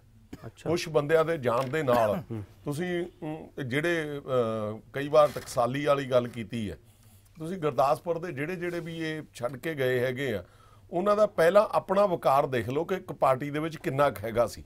ਉਹਨਾਂ ਦੇ ਲੋਕਾਂ ਦੇ ਵਿੱਚ ਵਕਾਰ ਕਿੰਨਾ ਕੁ ਹੈਗਾ ਸੀ ਕਿੰਨੀ ਕੁ ਉਹ ਜਿਹੜਾ ਹੈਗਾ ਲੋਕਾਂ ਨੂੰ ਉਹ ਲੀਡ ਕਰਦੇ ਸੀ। ਸੋ ਇੱਕ ਐਸੇ ਤੁਸੀਂ ਵੀ ਬੋਝ ਬੋਝ ਬੋਝ ਢੋ ਰਹੇ ਸੀਗੇ। ਭਾਰ ਲੈ ਕੇ ਚੱਲੇ। ਹੁੰਦਾ ਮਤਲਬ ਮੈਂ ਉਹੀ ਸੋਚ ਰਿਹਾ ਕਈ ਵਾਰ ਮੈਂ ਤੁਸੀਂ ਭਾਰ ਲੈ ਕੇ ਚੱਲੇ ਹੋਏ ਸੀਗੇ ਕਈ ਕਈ ਵਾਰ ਦੇਖੋ ਗੱਲ ਇਹ ਹੈ ਨਹੀਂ, ਫਿਰ ਉਹਨਾਂ ਨੇ- ਉਹਨਾਂ ਨੇ ਤੁਹਾਨੂੰ ਕੋਈ ਛੱਡਿਆ, ਤੁਸੀਂ ਕਿਉਂ ਨਹੀਂ ਛੱਡਿਆ ਫਿਰ? ਮੈਂ ਦੱਸਦਾ ਜੀ ਮੈਂ ਤਾਰਨੀ। ਸਾਹਿਬ ਤਾਰਨੀ ਸਾਹਿਬ ਤਾਰਨੀ ਸਾਹਿਬ ਸਵਾਲ ਤਾਂ ਸੁਣ ਲਓ ਪਹਿਲਾਂ ਪੂਰਾ ਤਾਰਨੀ। ਸਾਹਿਬ ਤੁਸੀਂ ਕਿਉਂ ਨਹੀਂ ਉਹਨਾਂ ਨੂੰ ਛੱਡਿਆ ਫਿਰ ਦੇਖੋ ਤੁਹਾਨੂੰ ਕੀ ਪਤਾ ਵੀ ਇੰਟਰਨਲ ਕੀ ਗੱਲਾਂ ਹੋ ਸਾਨੂੰ ਤਾਂ? ਪਤਾ ਹੀ ਕੁਛ ਨਹੀਂ। ਤੁਹਾਨੂੰ ਕੀ ਪਤਾ ਵੀ ਤਾਂ ਹੀ ਤਾਂ ਤੁਹਾਨੂੰ ਬੁਲਾਇਆ ਧਾਰਨੀ ਸਾਹਿਬ। ਨਹੀਂ ਤੁਹਾਨੂੰ ਸਾਨੂੰ ਦੱਸ ਦਿਓ ਨਾ ਫਿਰ ਦੱਸ ਦਿਓ ਲੋਕ ਸੁਣਨਾ ਚਾਹੁੰਦੇ ਆ ਦੇਖੋ ਹਰ ਵੀ ਅਸਲ 'ਚ ਹੋਇਆ ਕੀ ਹੈ ਹਰ ਬੰਦੇ ਦਾ ਇੱਕ ਟਾਈਮ ਹੁੰਦਾ ਹੈ ਜਦੋਂ ਉਹ ਜਨਤਾ ਨੂੰ ਮੋਬਾਈਲ ਕਰਕੇ ਆਪਣੇ ਨਾਲ ਤੋਰ ਸਕਦਾ। ਇੱਕ ਟਾਈਮ ਆਉਂਦਾ ਹੈ ਚਾਹੇ ਉਹਦੀ ਬਿਰਧ ਅਵਸਥਾ ਕਹਿ ਲਓ ਚਾਹੇ ਉਹਦੀ ਆਪਣੀ ਸਿਹਤ ਦੀ ਗੱਲ ਕਰੋ ਤਾਂ ਇੱਕ ਟਾਈਮ ਤੇ ਆ ਕੇ ਹੋ ਸਕਦਾ ਕਿ ਉਹ ਬਿਰਧ ਹੋ ਗਏ ਨਾ ਸੀ ਇਸ। ਲਈ ਪਾਸੇ ਹੋ ਗਏ ਬਿਲਕੁਲ ਤੁਹਾਡੇ ਸਾਹਮਣੇ ਹੀ ਹੈ ਜੀ ਅੱਛਾ ਠੀਕ ਵੱਡੇ ਵੱਡੇ ਬਾਦਲ ਸਾਹਿਬ ਦਾ ਜਵਾਬ ਨਹੀਂ sorry, ਨਹੀਂ ਨਹੀਂ। ਦੇਖੋ ਵੱਡੇ ਬਾਦਲ ਸਾਹਿਬ ਦੀ ਜਿਹਦੀ ਫੋਲੋਇੰਗ ਹੈਗੀ ਹੈ ਤੁਹਾਡੇ ਸਾਹਮਣੇ ਹੀ ਹੈ potential ਹੈਗੀ ਹੈ। ਠੀਕ ਹੈ ਨਹੀਂ ਉਹ- ਉਹਨਾਂ ਦੀ ਪੋਟੈਂਸ਼ੀਅਲ ਹੈਗੀ ਆ ਬਟ ਚਲੋ। ਮੈਂ। ਮੈਂ ਮੈਂ I'll take my words back ਕਿਉਂਕਿ he is too old but ਮੈਂ ਧਾਰਨੀ ਸਾਹਿਬ ਦੀ ਗੱਲ ਤੋਂ ਨਾ ਇੱਕ ਜੋ ਮੌਕਾ ਪ੍ਰਸਤੀ ਦੀ ਸਿਆਸਤ ਹੈ ਕਿ ਜਦ ਤੱਕ ਬੰਦੇ ਦੀ ਇਸਤੇਮਾਲ ਕਰ ਸਕਦੇ ਹੈ ਠੀਕ ਹੈ ਨਾ? ਮਤਲਬ ਉਹ ਸਾਹਮਣੇ ਆ ਰਿਹਾ ਮੈਂ ਸੋਚ ਰਿਹਾ ਕਿ ਇਹਨਾਂ ਦੇ ਤੁਹਾਡਾ ਵੀ ਚੰਗਾ ਨਹੀਂ ਹੈਗਾ। ਸਿੰਘ ਇੱਕ ਮਿੰਟ, ਤਾਰੀ ਸਾਹਿਬ ਤਾਰੀ ਸਾਹਿਬ ਰੁਕ ਜਾਓ ਇੱਕ ਮਿੰਟ, ਇੱਕ second, ਇੱਕ ਹਾਲ second। ਤੁਹਾਡਾ ਵੀ ਚੰਗਾ ਨਹੀਂ ਹੈਗਾ ਉੱਥੇ। ਹਾਂ, ਮੈਂ ਉਹੀ ਤੁਹਾਨੂੰ ਤੁਹਾਨੂੰ। ਤੁਹਾਨੂੰ ਕੋਈ ਜ਼ਿਆਦਾ ਨੁਕਸਾਨ ਤਾਂ ਨਹੀਂ ਹੋ ਜੂ ਮੋਦੀ ਸਾਹਿਬ ਦੇ ਆਉਣ ਨਾਲ? ਮੇਰੀ ਗੱਲ ਸੁਣੋ। ਹਾਂ ਜੀ 18 ਚੋਂ 18 ਰਹਿ ਜਾਣਗੇ। ਅਸੀਂ ਮੈਂ ਤਾਂ ਕਹਿਣਾ ਕਿ ਅਸੀਂ ਸੱਤਾ ਦੇ ਵਿੱਚ ਆਉਣਾ ਸਾਡਾ ਮਕਸਦ ਨਹੀਂ ਹੈ। ਪਲੀਜ਼ ਅੰਡਰਸਟੈਂਡ ਦਿਸ ਠੀਕ ਹੈ? ਅਸੀਂ ਕਿਹਾ ਅਸੀਂ ਪੋਲੀਟੀਕਲ ਪਾਰਟੀ ਨਹੀਂ ਬਣਾਣੀ ਸੀਗੀ। ਨਹੀਂ, ਤਾਂ ਅੰਦੋਲਨ ਹੈ, political ਆਹੀ ਆਹੀ ਚੱਕਰ ਹੈ। ਨਾ ਤੁਹਾਡੇ ਤੁਹਾਡੇ ਰਵਾਇਤੀ ਸਿਆਸਤਦਾਨਾਂ ਦੀ ਇਹੀ ਪ੍ਰੋਬਲਮ ਹੈ। ਤੁਸੀਂ ਅਸੀਂ ਮੇਰੀ ਗੱਲ ਸੁਣੋ। ਇੱਕ ਮਿੰਟ ਅਲਾਓ ਮੈਨੂੰ ਜੀ, ਕੰਪਲੀਟ ਤੁਸੀਂ ਮੰਨੋ- ਮੰਨੋ ਨਾ ਤੁਹਾਡਾ ਇਹੀ ਲੱਗਦਾ, ਤੁਸੀਂ ਹਾਲੇ ਤੱਕ ਇਹੀ ਸੋਚ ਰਹੇ ਸੀ ਧਰਨਾ ਦੇਣੇ ਵਾਲੇ ਆ। ਤੁਸੀਂ ਹਾਲੇ ਤੱਕ ਇਹ ਨਹੀਂ ਸਮਝ ਪਾਏ ਕਿ ਤੁਸੀਂ ਰਾਜਨੀਤਿਕ ਪਾਰਟੀ ਸੁਣ ਲਓ। ਹਾਂ। ਅਸੀਂ ਕਿ ਅਸੀਂ ਸਿਆਸਤ ਬਦਲਣ ਆਏ ਆ। ਤੁਸੀਂ ਅਸੈਂਬਲੀ ਚੋਣਾਂ ਦੇਖ ਲਓ ਮਹਾਰਾਜ। ਬਦਲਤੀ? ਅਸੈਂਬਲੀ ਚੋਣਾਂ ਦੇ ਵਿੱਚ ਕਾਂਗਰਸ ਨੇ ਪਹਿਲੀ ਵਾਰੀ ਹੋਇਆ ਆਜ਼ਾਦੀ ਤੋਂ ਬਾਅਦ ਕਿ ਆਪਣੇ ਪਰਿਵਾਰ ਦੇ ਵਿੱਚ ਟਿਕਟਾਂ ਨਹੀਂ ਦਿੱਤੀਆਂ ਕਿਉਂਕਿ ਆਮ ਆਦਮੀ ਪਾਰਟੀ ਸੀਗੀ। ਐਂਡ ਜਿਵੇਂ ਤੁਸੀਂ ਜਿੱਤੇ ਤੁਸੀਂ ਆਪਣਾ ਰੰਗ ਦਿਖਾਤਾ। ਕਾਰਪੋਰੇਸ਼ਨਾਂ ਦੀ ਚੋਣਾਂ ਆਪਣੇ ਰਿਸ਼ਤੇਦਾਰਾਂ 'ਚ ਪਰਿਸ਼ਦ ਦੇ ਰਿਸ਼ਤੇਦਾਰਾਂ 'ਚ ਤੇ ਹੁਣ ਪੰਚਾਇਤ 'ਚ ਵੀ ਉਹੀ ਹਾਲ ਹੋ ਰਿਹਾ। ਅਸੀਂ ਮੈਂ ਜਿਵੇਂ ਪਹਿਲਾਂ ਕਿਹਾ ਅਸੀਂ ਜਿੱਤਣਾ ਮਕਸਦ ਨਹੀਂ ਹੈ ਤੁਹਾਨੂੰ ਠੀਕ ਰੱਖਣਾ ਸਾਡਾ ਸਭ ਤੋਂ ਪਹਿਲਾ ਮਕਸਦ ਹੈ। ਤੁਹਾਨੂੰ ਅਸੀਂ ਠੀਕ ਰੱਖਾਂਗੇ। ਤੁਹਾਡੇ ਮਨ 'ਚ ਡਰ ਪੈਦਾ ਰੱਖਾਂਗੇ ਕਿ ਆਮ ਜਿਹੜੇ ਰਾਜ ਸਭਾ ਦੀ। ਸੀਟਾਂ ਉਹ ਇਹੋ ਜਿਹੇ ਬੰਦਿਆਂ ਨੂੰ ਬਿਜ਼ਨਸਮੈਨਾਂ ਨੂੰ ਦੇਤੀਆਂ। ਇੱਕ ਮਿੰਟ ਇੱਕ ਇੱਕ ਮੈਂ ਹੋਰ ਗੱਲ ਦੱਸ ਦਿੰਨਾ ਕਿ ਜਿਵੇਂ ਇੱਥੇ ਖਾਲਿਦ ਸਾਹਿਬ ਨੇ ਕਿਹਾ ਨਾ ਕਿ ਵੀ ਇਹਨਾਂ ਦਾ 9 ਮਾਸ ਦਾ ਰਿਸ਼ਤਾ ਮਜਬੂਰੀ ਹੈ ਇੱਕ। ਇਸ ਵੇਲੇ ਗ੍ਰਾਫ ਭਾਜਪਾ ਦਾ ਵੀ ਡਾਊਨ ਹੈ ਐਂਡ ਇੱਕ ਸੱਚਾ ਸਿੱਖ ਅਕਾਲੀ ਦਲ ਨੂੰ ਵੀ ਨਹੀਂ ਵੋਟ ਪਾਊਗਾ। ਇਹ ਕ੍ਰੈਡਿਟ ਵਾਰ ਹੈ ਕ੍ਰੈਡਿਟ ਸਿਆਸੀ ਲਾਹਾ ਲੈਣਾ ਚਾਹੁੰਦੇ 84 ਦਾ। ਤੇ ਕਰਤਾਰਪੁਰ ਲਾਂਗੇ ਦਾ ਤਾਂ ਕਿ ਉਹ ਜਿਹੜਾ ਵੋਟ ਬੈਂਕ ਹੈ ਉਹਨੂੰ ਦੁਬਾਰਾ ਕੰਸੋਲੀਡੇਟ ਕਰ ਠੀਕ ਠੀਕ ਸਕਣ ਹੈ। ਰਠੌਰ ਸਾਹਿਬ ਰਠੌਰ ਸਾਹਿਬ ਸਵਾਲ ਤੁਹਾਡੇ ਤੋਂ ਹੈ ਰਠੌਰ ਸਾਹਿਬ। ਜੋ ਕੈਪਟਨ ਅਮਰਿੰਦਰ ਸਿੰਘ ਦਾ ਸਟੈਂਡ ਹੈਗਾ ਕਰਤਾਰਪੁਰ ਲਾਂਘੇ ਤੇ ਜਾਂ ਮੈਂ ਕਹੂੰਗਾ ਪਾਕਿਸਤਾਨ ਤੇ ਕਰਤਾਰਪੁਰ ਲਾਂਘੇ ਤੇ ਤਾਂ ਉਹ ਕਹਿ ਰਿਹਾ ਮੈਂ ਉਹਦਾ ਸਵਾਗਤ ਕਰਦਾ। ਪਰ ਜਿਹੜਾ ਪਾਕਿਸਤਾਨ ਦੇ ਉਹਨਾਂ ਸਟੈਂਡ ਹੈਗਾ ਪ੍ਰਧਾਨ ਮੰਤਰੀ ਮੋਦੀ ਉਹੀ ਗੱਲਾਂ ਹੀ ਕਰਨਗੇ ਜੋ ਕੈਪਟਨ ਸਾਹਿਬ ਕਰਦੇ ਜਾਂ ਪ੍ਰਧਾਨ ਮੰਤਰੀ ਮੋਦੀ ਸਾਹਿਬ ਕੈਪਟਨ ਸਾਹਿਬ ਤੋਂ ਵੱਖਰਾ ਕੁਝ ਬੋਲਣਗੇ। ਦੇਖੋ ਜਿੱਥੇ ਤੱਕ ਦੇਸ਼ ਦੀ ਅਖੰਡਤਾ ਤੇ ਏਕਤਾ ਦਾ ਸਵਾਲ ਹੁੰਦਾ ਹੈ ਨਾ ਉਹ ਮੁੱਖ ਮੰਤਰੀ ਤੇ ਪ੍ਰਧਾਨ ਮੰਤਰੀ ਉਹਨਾਂ ਵਾਸਤੇ ਬਰਾਬਰ ਹੋਣਾ ਚਾਹੀਦਾ ਔਰ ਹਰ ਨਾਗਰਿਕ ਵਾਸਤੇ ਮੈਂ ਸਮਝਦਾ ਕਿ ਬਰਾਬਰ ਹੁੰਦਾ। ਇਹ ਕੋਈ ਇਹਦੇ ਚ ਆਪਾਂ ਜੇ ਕੋਈ ਰਾਜਨੀਤੀ ਕਰੀਏ ਮੈਂ ਬਿਲਕੁਲ ਗਲਤ ਕਹਾਂਗਾ ਇਸ ਕੈਪਟਨ ਸਾਹਿਬ ਕੋਈ ਰਾਜਨੀਤੀ ਨਹੀਂ ਕਰ ਰਹੇ? ਨਹੀਂ ਦੇਖੋ ਜਾਂ ਕੈਪਟਨ ਸਾਹਿਬ ਦੀ ਰਾਜਨੀਤੀ ਬਦਲ ਗਈ ਜਿਹੜੀ ਜਿਹੜੀ ਬੋਰਡ ਜਿਹੜਾ ਸਵਾਲ ਤੁਸੀਂ ਕੀਤਾ ਉਹਦਾ ਜਵਾਬ ਲਓ। ਰਾਜਨੀਤੀ ਦੇਖੋ ਸਾਡੇ ਨਹੀਂ ਮੈਂ ਤਾਂ ਸਵਾਲ ਤਾਂ ਕਰ ਰਿਹਾ ਨਾ ਕਿਉਂਕਿ ਇੱਕ ਸਟੈਂਡ ਹੁੰਦਾ। ਤੁਸੀਂ ਕਹਿੰਦੇ ਇਸ ਵਿੱਚ ਰਾਜਨੀਤੀ ਨਹੀਂ ਕਰਨੀ ਚਾਹੀਦੀ। ਭਾਰਤ ਦੀ ਜੇ ਤੁਸੀਂ ਗੱਲ ਕਰਦੇ ਹੋ ਨਾ ਪ੍ਰਭੂ ਸੱਤਾ ਦੀ ਜਾਂ ਭਾਰਤ ਦੀ ਏਕਤਾ ਅਖੰਡਤਾ ਦੀ ਤੁਸੀਂ ਗੱਲ ਕਰਦੇ ਹੋ ਫਿਰ ਸਟੈਂਡ ਵੀ ਸਪਸ਼ਟ ਹੋਣਾ ਚਾਹੀਦਾ ਨਾ। ਸਾਡਾ 2002 ਤੋਂ 2007 ਦੇ ਵਿੱਚ ਸਟੈਂਡ ਹੋਰ ਤੇ ਹੁਣ ਸਟੈਂਡ ਹੋਰ। ਦੇਖੋ ਜਿਹੜਾ ਰਾਜਨੀਤਿਕ ਸਿਨੈਰੀਓ ਹੁੰਦਾ ਇੱਕ ਰਾਸ਼ਟਰਵਾਦ ਦੇ ਰਾਸ਼ਟਰਵਾਦ ਦੀ ਜਿਹੜੀ ਪਰਿਭਾਸ਼ਾ ਤੁਸੀਂ ਮੈਨੂੰ ਦੱਸਣ ਲੱਗ ਰਹੇ ਹੋ ਮੈਂ ਨਹੀਂ ਦੱਸ ਰਿਹਾ, ਮੈਂ ਨਹੀਂ ਦੱਸ ਰਿਹਾ, ਤੋਂ ਪੁੱਛੋ ਜਿੱਥੇ ਜਿੱਥੇ। ਜਿੱਥੇ ਮੈਂ ਇਹ ਗੱਲ ਕਹਿੰਦਾ ਵੀ ਜਿੱਥੇ ਤੱਕ ਦੇਸ਼ ਦੀ ਏਕਤਾ ਤੇ ਪ੍ਰਭੁਤਾ ਦਾ ਸਵਾਲ ਹੁੰਦਾ ਉਹਦੇ 'ਚ ਕੋਈ ਪਾਰਟੀਬਾਜ਼ੀ ਜਾਂ ਕੋਈ ਉਹਦੇ 'ਚ ਸਵਾਲ ਕਿੰਤੂ ਯਾਨੀ ਕਿ। ਕਾਂਗਰਸ ਕਾਂਗਰਸ ਦਾ ਵੀ ਉਹੀ ਸਟੈਂਡ ਰਹੂਗਾ ਜੋ ਮੋਦੀ ਸਾਹਿਬ ਦਾ ਸਟੈਂਡ ਪਾਕਿਸਤਾਨ ਦੇ ਦੇਖੋ ਖਿਲਾਫ ਹੈ ਕਰਤਾਰਪੁਰ ਲਾਂਘੇ ਤੇ ਸਾਰਾ ਸਿੱਖਾਂ ਦੇ ਵਾਸਤੇ ਵੀ ਸਾਡੇ ਵਾਸਤੇ ਵੀ ਸਭ ਜਿੰਨੇ ਵੀ ਗੁਰੂ ਨਾਨਕ ਨਾਮ ਲੇਵਾ ਕੋਈ ਵਰਡ ਦੇ ਅੰਦਰ ਇਹੋ ਜਿਹਾ ਬੰਦਾ ਨਹੀਂ ਹੋਏਗਾ ਜਿਹੜਾ ਠੀਕ ਹੈ, ਨੂੰ ਸਾਹਿਬ, ਕਰ ਸਕਦੇ ਸਾਰੀ। ਸਟੇਟਮੈਂਟਸ ਬੀਜੇਪੀ ਦੇ ਬੋਲ ਨੇ। ਸਰ, ਮੈਂ ਮੈਂ ਸਰ, ਸਿਰਫ ਇਸੇ ਬਾਰੇ ਪੁੱਛ ਰਿਹਾ ਇਹ- ਜੋ ਵੀ ਉਹਨਾਂ ਨੇ ਸਟੇਟਮੈਂਟ ਦਿੱਤੀ ਹੈ ਉਹਨਾਂ ਨੇ ਪੂਰੀ ਕੋਸ਼ਿਸ਼ ਐਦਾਂ ਲੱਗਿਆ ਕਿ ਵੀ ਹਾਂ ਬਸ ਇਹ ਲਾਂਗਾ ਖੁੱਲ ਨਾ ਜਾਵੇ। ਐਦਾਂ ਦੀ ਇਹਨਾਂ ਦੀ ਸਟੇਟਮੈਂਟਸ ਰਹੀਆਂ। ਦੇਖੋ ਇਹਦਾ ਮਤਲਬ ਤੁਸੀਂ ਸਾਹਿਬ ਲਾਸਟ ਮਿੰਟ ਮਤਲਬ ਕੇਪੀ ਜੀ ਦੇ ਇਹ। ਸਰਤਾਜ ਜੀ ਜਿਹੜੇ ਇੱਥੇ ਕਹਿੰਦੇ ਕਿ ਜੀ ਅਸੀਂ ਪੋਲੀਟੀਕਲ ਜਸਤੇਜ। ਜੀ ਕਹਿੰਦੇ ਕਿ ਅਸੀਂ ਪੋਲੀਟੀਕਲ ਪਾਰਟੀਆਂ ਨੂੰ ਠੀਕ ਕਰਨ ਵਾਸਤੇ ਆਏ ਇਲੈਕਸ਼ਨ ਲੜਨ ਵਾਸਤੇ ਬੜਾ ਹਾਸੇਪਰਦ ਚੀਜ਼ ਹੈ ਇਹਨਾਂ ਦਾ ਨੈਸ਼ਨਲ ਲੀਡਰ ਸਾਡੀ ਪਾਰਟੀਆਂ ਤੇ ਆક્ષੇਪ ਕਰ ਰਹੇ ਨੇ ਟੁਕੜੇ ਟੁਕੜੇ ਹੋਈ ਪਾਰਟੀ ਜਿਹੜੀ ਕਿ ਮੈਂ ਇਹ ਕਹਿਣਾ ਚਾਹੁੰਦਾ ਹਾਂ ਕਿ ਇਹਨਾਂ ਦਾ, ਜਿਨ੍ਹਾਂ ਦਾ ਰਾਸ਼ਟਰੀ ਰਾਸ਼ਟਰੀ ਜੋ ਚੇਅਰਮੈਨ ਹੈ ਅਰਵਿੰਦ ਕੇਜਰੀਵਾਲ, ਪੰਜਾਬ ਦੇ ਪਿਆਰ ਤੇ ਕਿ ਇੱਥੇ ਪ੍ਰੈਸ ਕਾਨਫਰੰਸ ਕੀਤੀ ਸੀ ਚੰਡੀਗੜ੍ਹ ਵਿੱਚ। ਔਰ ਕਿਹਾ ਸੀ ਕਿ ਪੰਜਾਬ ਦਿੱਲੀ ਨੂੰ ਖਰਾਬ ਕਰਨ ਵਾਸਤੇ ਪੰਜਾਬ ਦਾ ਰੋਲ ਫਸਟ ਹੈ। ਮੈਂ ਕਹਿੰਦਾ ਇਹ ਰੈਲੀ 3 ਤਾਰੀਖ ਨੂੰ ਮਹਾ ਰੈਲੀ ਹੋਊਗੀ। ਪੰਜਾਬ ਦੇ ਕਰੋੜੋਂ ਆਦਮੀ ਉੱਥੇ ਲਓ। ਆਪਣੇ ਪ੍ਰਧਾਨ ਮੰਤਰੀ ਨੂੰ ਸੁਣੋਗੇ ਅੱਧੇ ਮਿੰਟ ਦੀ ਕਰੋੜ ਹੀ ਹੈਗੀ ਆ। ਅੱਧੇ ਮਿੰਟ ਦਾ ਹਾਂ ਫਟਾਫਟ ਫਟਾਫਟ। ਬਸ ਇੰਨੀ ਕੁ ਗੱਲ ਹੈ ਕਿ ਵੀ ਦੇਖੋ ਇਹ ਕਿਵੇਂ ਗੱਲਾਂ ਨੂੰ ਟਵਿਸਟ ਕਰਦੇ ਥੋੜੀ ਜੀ ਮੇਰੇ ਖਿਆਲ ਤੋਂ ਮੈਨੂੰ ਥੋੜਾ ਕਰੀਏ? ਨਹੀਂ ਪਰਾਲੀ ਪਰਾਲੀ ਤੇ ਸਟੈਂਡ ਨਹੀਂ ਸਾਹਿਬ ਨਹੀਂ ਦਾ ਨਾਰਾ ਕਿਹਾ ਪਰਾਲੀ ਦੇ ਜੇ ਪ੍ਰਦੂਸ਼ਣ ਦੀ ਗੱਲ ਕਰਨੀ ਨਾ, ਜੇ ਪ੍ਰਦੂਸ਼ਣ ਦਾ ਜਿਸ ਹਾਂ, ਤੇ ਪਰਾਲੀ ਦੇ ਵਿੱਚ ਲੱਗਿਆ ਕੀ ਕਿਹਾ 25 ਸੀ? ਨਹੀਂ ਉੱਥੇ ਵੀ ਦੇ ਵਿੱਚ। ਕੀ ਕਿਹਾ ਸੀਗਾ ਕਿ ਇੱਥੇ ਦੀ ਸਰਕਾਰ ਦਾ ਫੇਲਿਅਰ ਹੈ ਜਿਹਦੇ ਕਰਕੇ ਪੰਜਾਬ 'ਚ ਪਰਾਲੀ ਨਾ, ਨਾ, ਜਿਹੜੀ ਹੈ ਜ਼ਿਆਦਾ ਸਾੜੀ ਜਾ ਰਹੀ ਹੈ। ਉਹ। ਗਲਤ ਗੱਲ ਮੇਰੀ ਗੱਲ ਸੁਣੋ ਮੇਰੀ ਗੱਲ ਸੁਣੋ। ਠੀਕ ਆ, ਆਪਾਂ- ਦੋ ਦਿਨ ਦੋ ਤੁਹਾਡਾ ਦਿਨ point ਆ ਗਿਆ, ਜਿਸ ਤੇ ਤੁਹਾਡਾ point ਆ ਗਿਆ। ਮੇਰੇ ਕੋਲ ਵਕਤ ਨਹੀਂ ਜਦੋਂ ਮੇਰੇ ਕੋਲ ਵਕਤ ਨਹੀਂ ਅਰਵਿੰਦ ਰਠੌਰ ਸਾਹਿਬ ਕੇਜਰੀਵਾਲ ਰਠੌਰ ਬੜਾ ਹੋ ਗਿਆ। ਸਾਹਿਬ ਇੱਕ minute Rathore Sahib last comment ਫਟਾਫਟ ਲਾਸਟ ਕਮੈਂਟ ਕੀ ਕਹਿਣਾ ਚਾਹ ਰਹੇ ਕਮਾਲ ਹੋ ਦੇਖੋ ਇੱਕ- ਪਰਾਲੀ ਪਰਾਲੀ ਤੇ ਨਾ ਜਾਈਓ ਪਰਾਲੀ ਤੇ ਗੱਲ ਹੈ। ਪਰਾਲੀ ਤੇ ਨਾ ਜਾਈਓ ਨਾ ਜਾਈਓ ਪਰਾਲੀ ਤੇ ਕੋਈ ਦੇਖੋ ਫਾਇਦਾ ਗੱਲ ਨਹੀਂ। ਇਹ ਹੈ ਕਿ ਕੁ- ਮੈਂ ਮੇਰਾ ਮੰਨਣਾ ਹੈ ਕੋਈ ਵੀ ਰਾਜਨੀਤਿਕ ਪਾਰਟੀ ਆਪਣੀ ਕਿਥੇ ਵੀ ਇੱਕ ਇੱਕ ਸੰਸਥਾ ਹੈ ਉਹ ਉਹ ਜਿੱਥੇ ਕੋਈ ਰੈਲੀ ਕਰਦੀ ਹੈ ਉਹ ਕਰਨਾ ਚਾਹੀਦਾ ਲੋਕਤਾਂਤਰਿਕ ਤਰੀਕੇ ਨਾਲ ਕੋਈ ਵੀ ਕਰੋ ਉਹ ਇਹਨਾਂ ਦਾ ਅੰਦਰੂਨੀ ਮਸਲਾ ਹੈ ਕਿੱਥੇ ਇਹਨਾਂ ਨੇ ਪਾਰਟੀ ਕਰਨੀ ਹੈ ਨਹੀਂ ਕਰਨੀ ਹੈ ਲੇਕਿਨ ਮੈਂ ਇਹ ਵੀ ਕਹਿੰਦਾ? ਨਹੀਂ ਮੈਂ ਇਹ ਵੀ ਕਹਿੰਦਾ ਕਿ ਇਹ ਜਿਹੜਾ ਧੰਨਵਾਦ ਅ, ਰੈਲੀ ਦਾ ਪੋਲਰ- ਤੁਸੀਂ ਸਵਾਗਤ ਕਰਦੇ ਹੋ? ਨਹੀਂ ਅਸੀਂ ਬਿਲਕੁਲ ਇਹ ਅਸੀਂ ਧੰਨਵਾਦ ਕਰ- ਕਰਦੇ ਹਾਂ। ਖਾਲਿਦ ਸਾਹਿਬ। ਕਰਤਾਰਪੁਰ ਲਾਂਘੇ ਦਾ ਅਸੀਂ ਧੰਨਵਾਦ ਕਰਦੇ ਹਾਂ। ਸਾਹਿਬ ਖਾਲਿਦ ਸਾਹਿਬ ਇਹ ਸਿਆਸਤ ਹੁੰਦੀ ਰਹੂਗੀ ਇਹ ਸਿਆਸਤ ਹੁੰਦੀ ਰਹੂਗੀ। ਪਾਕਿਸਤਾਨ ਨਾਲ ਕੀ ਪਾਲਿਸੀ ਹੈਗੀ ਹਿੰਦੁਸਤਾਨ ਦੀ ਇੰਡੀਆ ਦੀ ਕੀ ਪਾਲਿਸੀ ਹੈਗੀ ਆ ਉਸ ਦਾ ਜ਼ਿਕਰ ਵੀ ਹੋਵੇਗਾ। ਕ੍ਰੈਡਿਟ ਲੈਣ ਦੀ ਦੌੜ ਵੀ ਚੱਲੇਗੀ। ਮੇਰਾ ਸਵਾਲ ਇੱਕੋ ਹੈ ਮੋਦੀ ਸਾਹਿਬ ਪੰਜਾਬ ਆਉਣਗੇ ਪੰਜਾਬ ਨੂੰ ਕੀ ਦੇ ਕੇ ਜਾਣਗੇ? ਦੇਖੋ ਪੰਜਾਬ ਨੂੰ ਇਸ ਵੇਲੇ ਕੁਝ ਨਹੀਂ ਦੇ ਸਕਦੇ ਮੋਦੀ ਸਾਹਿਬ। ਉਹਦੀ ਵਜ੍ਹਾ ਹੈਗੀ ਹੈ ਕਿ ਜਿਹੜੀ ਡਿਮਾਂਡ ਬਾਰ-ਬਾਰ ਆ ਰਹੀ ਹੈ ਕਿ ਪੂਰੇ ਇੰਡੀਆ ਦੇ ਵਿੱਚ ਕਿਸਾਨਾਂ ਦਾ ਜਿਹੜਾ ਕਰਜ਼ਾ ਹੈਗਾ, ਉਹਦੇ ਬਾਰੇ ਕੋਈ ਪਾਲਿਸੀ ਬਣਾਈ ਜਾਵੇ। ਉਹਦੇ ਵਿੱਚ ਪੰਜਾਬ ਦਾ ਸਾਰਾ ਕਿਸਾਨ ਵੀ ਆ ਜਾਂਦਾ ਔਰ ਪੰਜਾਬ ਦੇ ਚੀਫ ਮਿਨਿਸਟਰ ਇਹ ਗੱਲ ਜਿਹੜਾ ਹੈਗਾ ਬਾਰ-ਬਾਰ ਕਹਿੰਦੇ ਰਹੇ ਹੈ ਕਿ ਪੰਜਾਬ ਦੇ ਜਿਹੜਾ ਕਿਸਾਨ ਹੈ, ਉਹਨਾਂ ਦਾ ਕਰਜ਼ਾ ਮਾਫੀ ਜਾਂ ਉਹਨਾਂ ਨੂੰ ਸ- ਜਿਹੜੀਆਂ ਫੈਸਿਲਿਟੀਆਂ ਦੇਣ ਵਾਸਤੇ ਇੱਕ ਕੰਪਰੀਹੈਂਸਿਵ ਪਾਲਿਸੀ ਬਣਾਓ ਤਾਂ ਕਿ ਪੰਜਾਬ ਦੇ ਕਿਸਾਨ ਨੂੰ ਵੀ ਫਾਇਦਾ ਹੋਇਆ। ਜਿੱਥੇ ਤੱਕ ਸਵਾਲ ਹੈ ਕਿ ਕੋਈ ਖਾਸ ਮੈਸੇਜ ਦਿੱਤੇ ਕੇ ਜਾਣਗੇ ਇਸ ਤਰ੍ਹਾਂ ਦੀ ਕੋਈ ਗੱਲ ਨਹੀਂ। ਸਰਹੱਦਾਂ ਤੇ ਕਿਸਾਨ ਖੜੇ ਮੂੰਹ ਦੇਖਦੇ ਰਹਿਣਗੇ। ਮੈਂ ਸਿਰਫ ਇੱਕ ਗੱਲ ਕਹਿ ਕੇ ਆਪਣੀ ਗੱਲ ਖਤਮ ਕਰੂੰਗਾ ਇਸ ਡਿਬੇਟ ਦੀ। ਦੇਖੋ 2014 ਦਾ ਇਲੈਕਸ਼ਨ ਤੇ 2019 ਦਾ ਇਲੈਕਸ਼ਨ ਬਿਲਕੁਲ ਹੀ ਡਿਫਰੈਂਟ ਇਲੈਕਸ਼ਨਸ ਹੈ। 2014 ਦੇ ਇਲੈਕਸ਼ਨ ਦੇ ਵਿੱਚ ਕਾਂਗਰਸ ਦੀ 10 ਸਾਲ ਦੀ ਸਰਕਾਰ ਦੇ ਅਗੇਂਸਟ ਐਂਟੀ ਇਨਕੰਬੈਂਸੀ ਸੀਗੀ। ਅੱਜ 4.5 5 ਸਾਲ ਦੀ ਮੋਦੀ ਸਰਕਾਰ ਦੇ ਅਗੇਂਸਟ ਐਂਟੀ ਇਨਕੰਬੈਂਸੀ ਹੈ। ਉਸ ਵੇਲੇ ਮੋਦੀ ਸਾਹਿਬ ਦੇ ਸਾਹਮਣੇ ਕਿਸੇ ਤਰ੍ਹਾਂ ਦਾ ਕੋਈ ਚੈਲੰਜ ਥਾ ਹੀ ਨਹੀਂ 2014 ਦੇ ਇਲੈਕਸ਼ਨ ਦੇ ਵਿੱਚ ਇਸ ਵੇਲੇ ਚੈਲੰਜ ਹੈ। ਇਸ ਕਰਕੇ ਅਗਲੀ ਜਿਹੜੀ ਸਰਕਾਰ ਹੈ ਮੈਂ ਇੱਕ ਲਾਸਟ ਵਰਡ ਕਰੂੰਗਾ ਅਗਲੀ ਜਿਹੜੀ ਸਰਕਾਰ ਹੈ ਕਿਸੇ ਵੀ ਪਾਰਟੀ ਦੀ ਮੈਜੋਰਿਟੀ ਸਰਕਾਰ ਨਹੀਂ ਬਣੂਗੀ ਇੱਕ ਕੋਲੀਸ਼ਨ ਗਵਰਨਮੈਂਟ ਬਣੇਗੀ ਚਲੋ, ਇਹ ਤਾਂ ਦੇਖਾਂਗੇ ਇਹ ਸਿਆਸੀ ਜਾਣਕਾਰ ਦੀਆਂ ਟਿੱਪਣੀਆਂ ਕਿੰਨੀ ਸਹੀ ਹੁੰਦੀ ਹੈ। ਮੁਹੰਮਦ ਖਾਲਿਦ ਜੇ, ਤੁਸੀਂ ਟਿੱਪਣੀ ਕੀਤੀ ਹੈ, ਤੁਹਾਡਾ ਮੈਂ ਵੈਲਕਮ ਕਰਦਾ। ਬਹੁਤ ਧੰਨਵਾਦ ਤੁਹਾਡਾ, ਮੁਹੰਮਦ ਖਾਲਿਦ। ਸਨਵਾਰੀ ਸਾਹਿਬ, ਤੁਹਾਡਾ ਬਹੁਤ ਧੰਨਵਾਦ ਤੇ ਰਠੌਰ ਸਾਹਿਬ, ਤੁਹਾਡਾ ਬਹੁਤ ਧੰਨਵਾਦ ਤਾਰਨੀ ਸਾਹਿਬ, ਤੁਹਾਡਾ ਬਹੁਤ ਧੰਨਵਾਦ ਜਸਟੇਜ ਸਿੰਘ, ਤੁਹਾਡਾ ਬਹੁਤ ਧੰਨਵਾਦ। ਇਹ ਸਾਰੀ ਡਿਬੇਟ ਹੋਈ ਹੈ, ਚਰਚਾ ਹੋਈ ਹੈ, ਪੰਜਾਬ 2019 ਲਈ ਲਾਂਚ ਪੈਡ ਕਿਉਂ ਹੈਗਾ? ਇਹ ਸਵਾਲ ਆਪਣੇ ਆਪ ਵਿੱਚ ਬੜਾ ਮਹੱਤਵਪੂਰਨ ਹੈਗਾ, ਪਰ ਇਸ ਸਵਾਲ ਦਾ ਅੰਤ 3 ਜਨਵਰੀ ਨੂੰ ਦੁਪਹਿਰ ਤੋਂ ਬਾਅਦ ਪਤਾ ਲੱਗੇਗਾ। ਜੇ ਪੰਜਾਬ ਨੂੰ ਕੁਝ ਮਿਲੇਗਾ ਤੇ ਫਿਰ ਲਾਂਚ ਪੈਡ ਪੰਜਾਬ ਨੂੰ ਬਣਾਓ। ਜੋ ਮਰਜ਼ੀ ਕਰੋ, ਪੰਜਾਬ ਦੇ ਵਿੱਚ ਸਿਆਸਤ ਕਰੋ ਕ੍ਰੈਡਿਟ ਲਓ, ਸਭ ਕੁਝ ਕਰੋ, ਪਰ ਪੰਜਾਬ ਨੂੰ ਜੇਕਰ ਕੁਝ ਨਹੀਂ ਦੇ ਕੇ ਜਾਓਗੇ, ਫਿਰ ਇਸ ਲਾਂਚ ਪੈਡ ਦਾ ਇਸਤੇਮਾਲ ਹੈ ਜਿਹੜਾ ਉਹ ਆਪਣੇ ਆਪ ਵਿੱਚ ਸਵਾਲ ਖੜੇ ਕਰਦਾ। ਬਹੁਤ ਧੰਨਵਾਦ।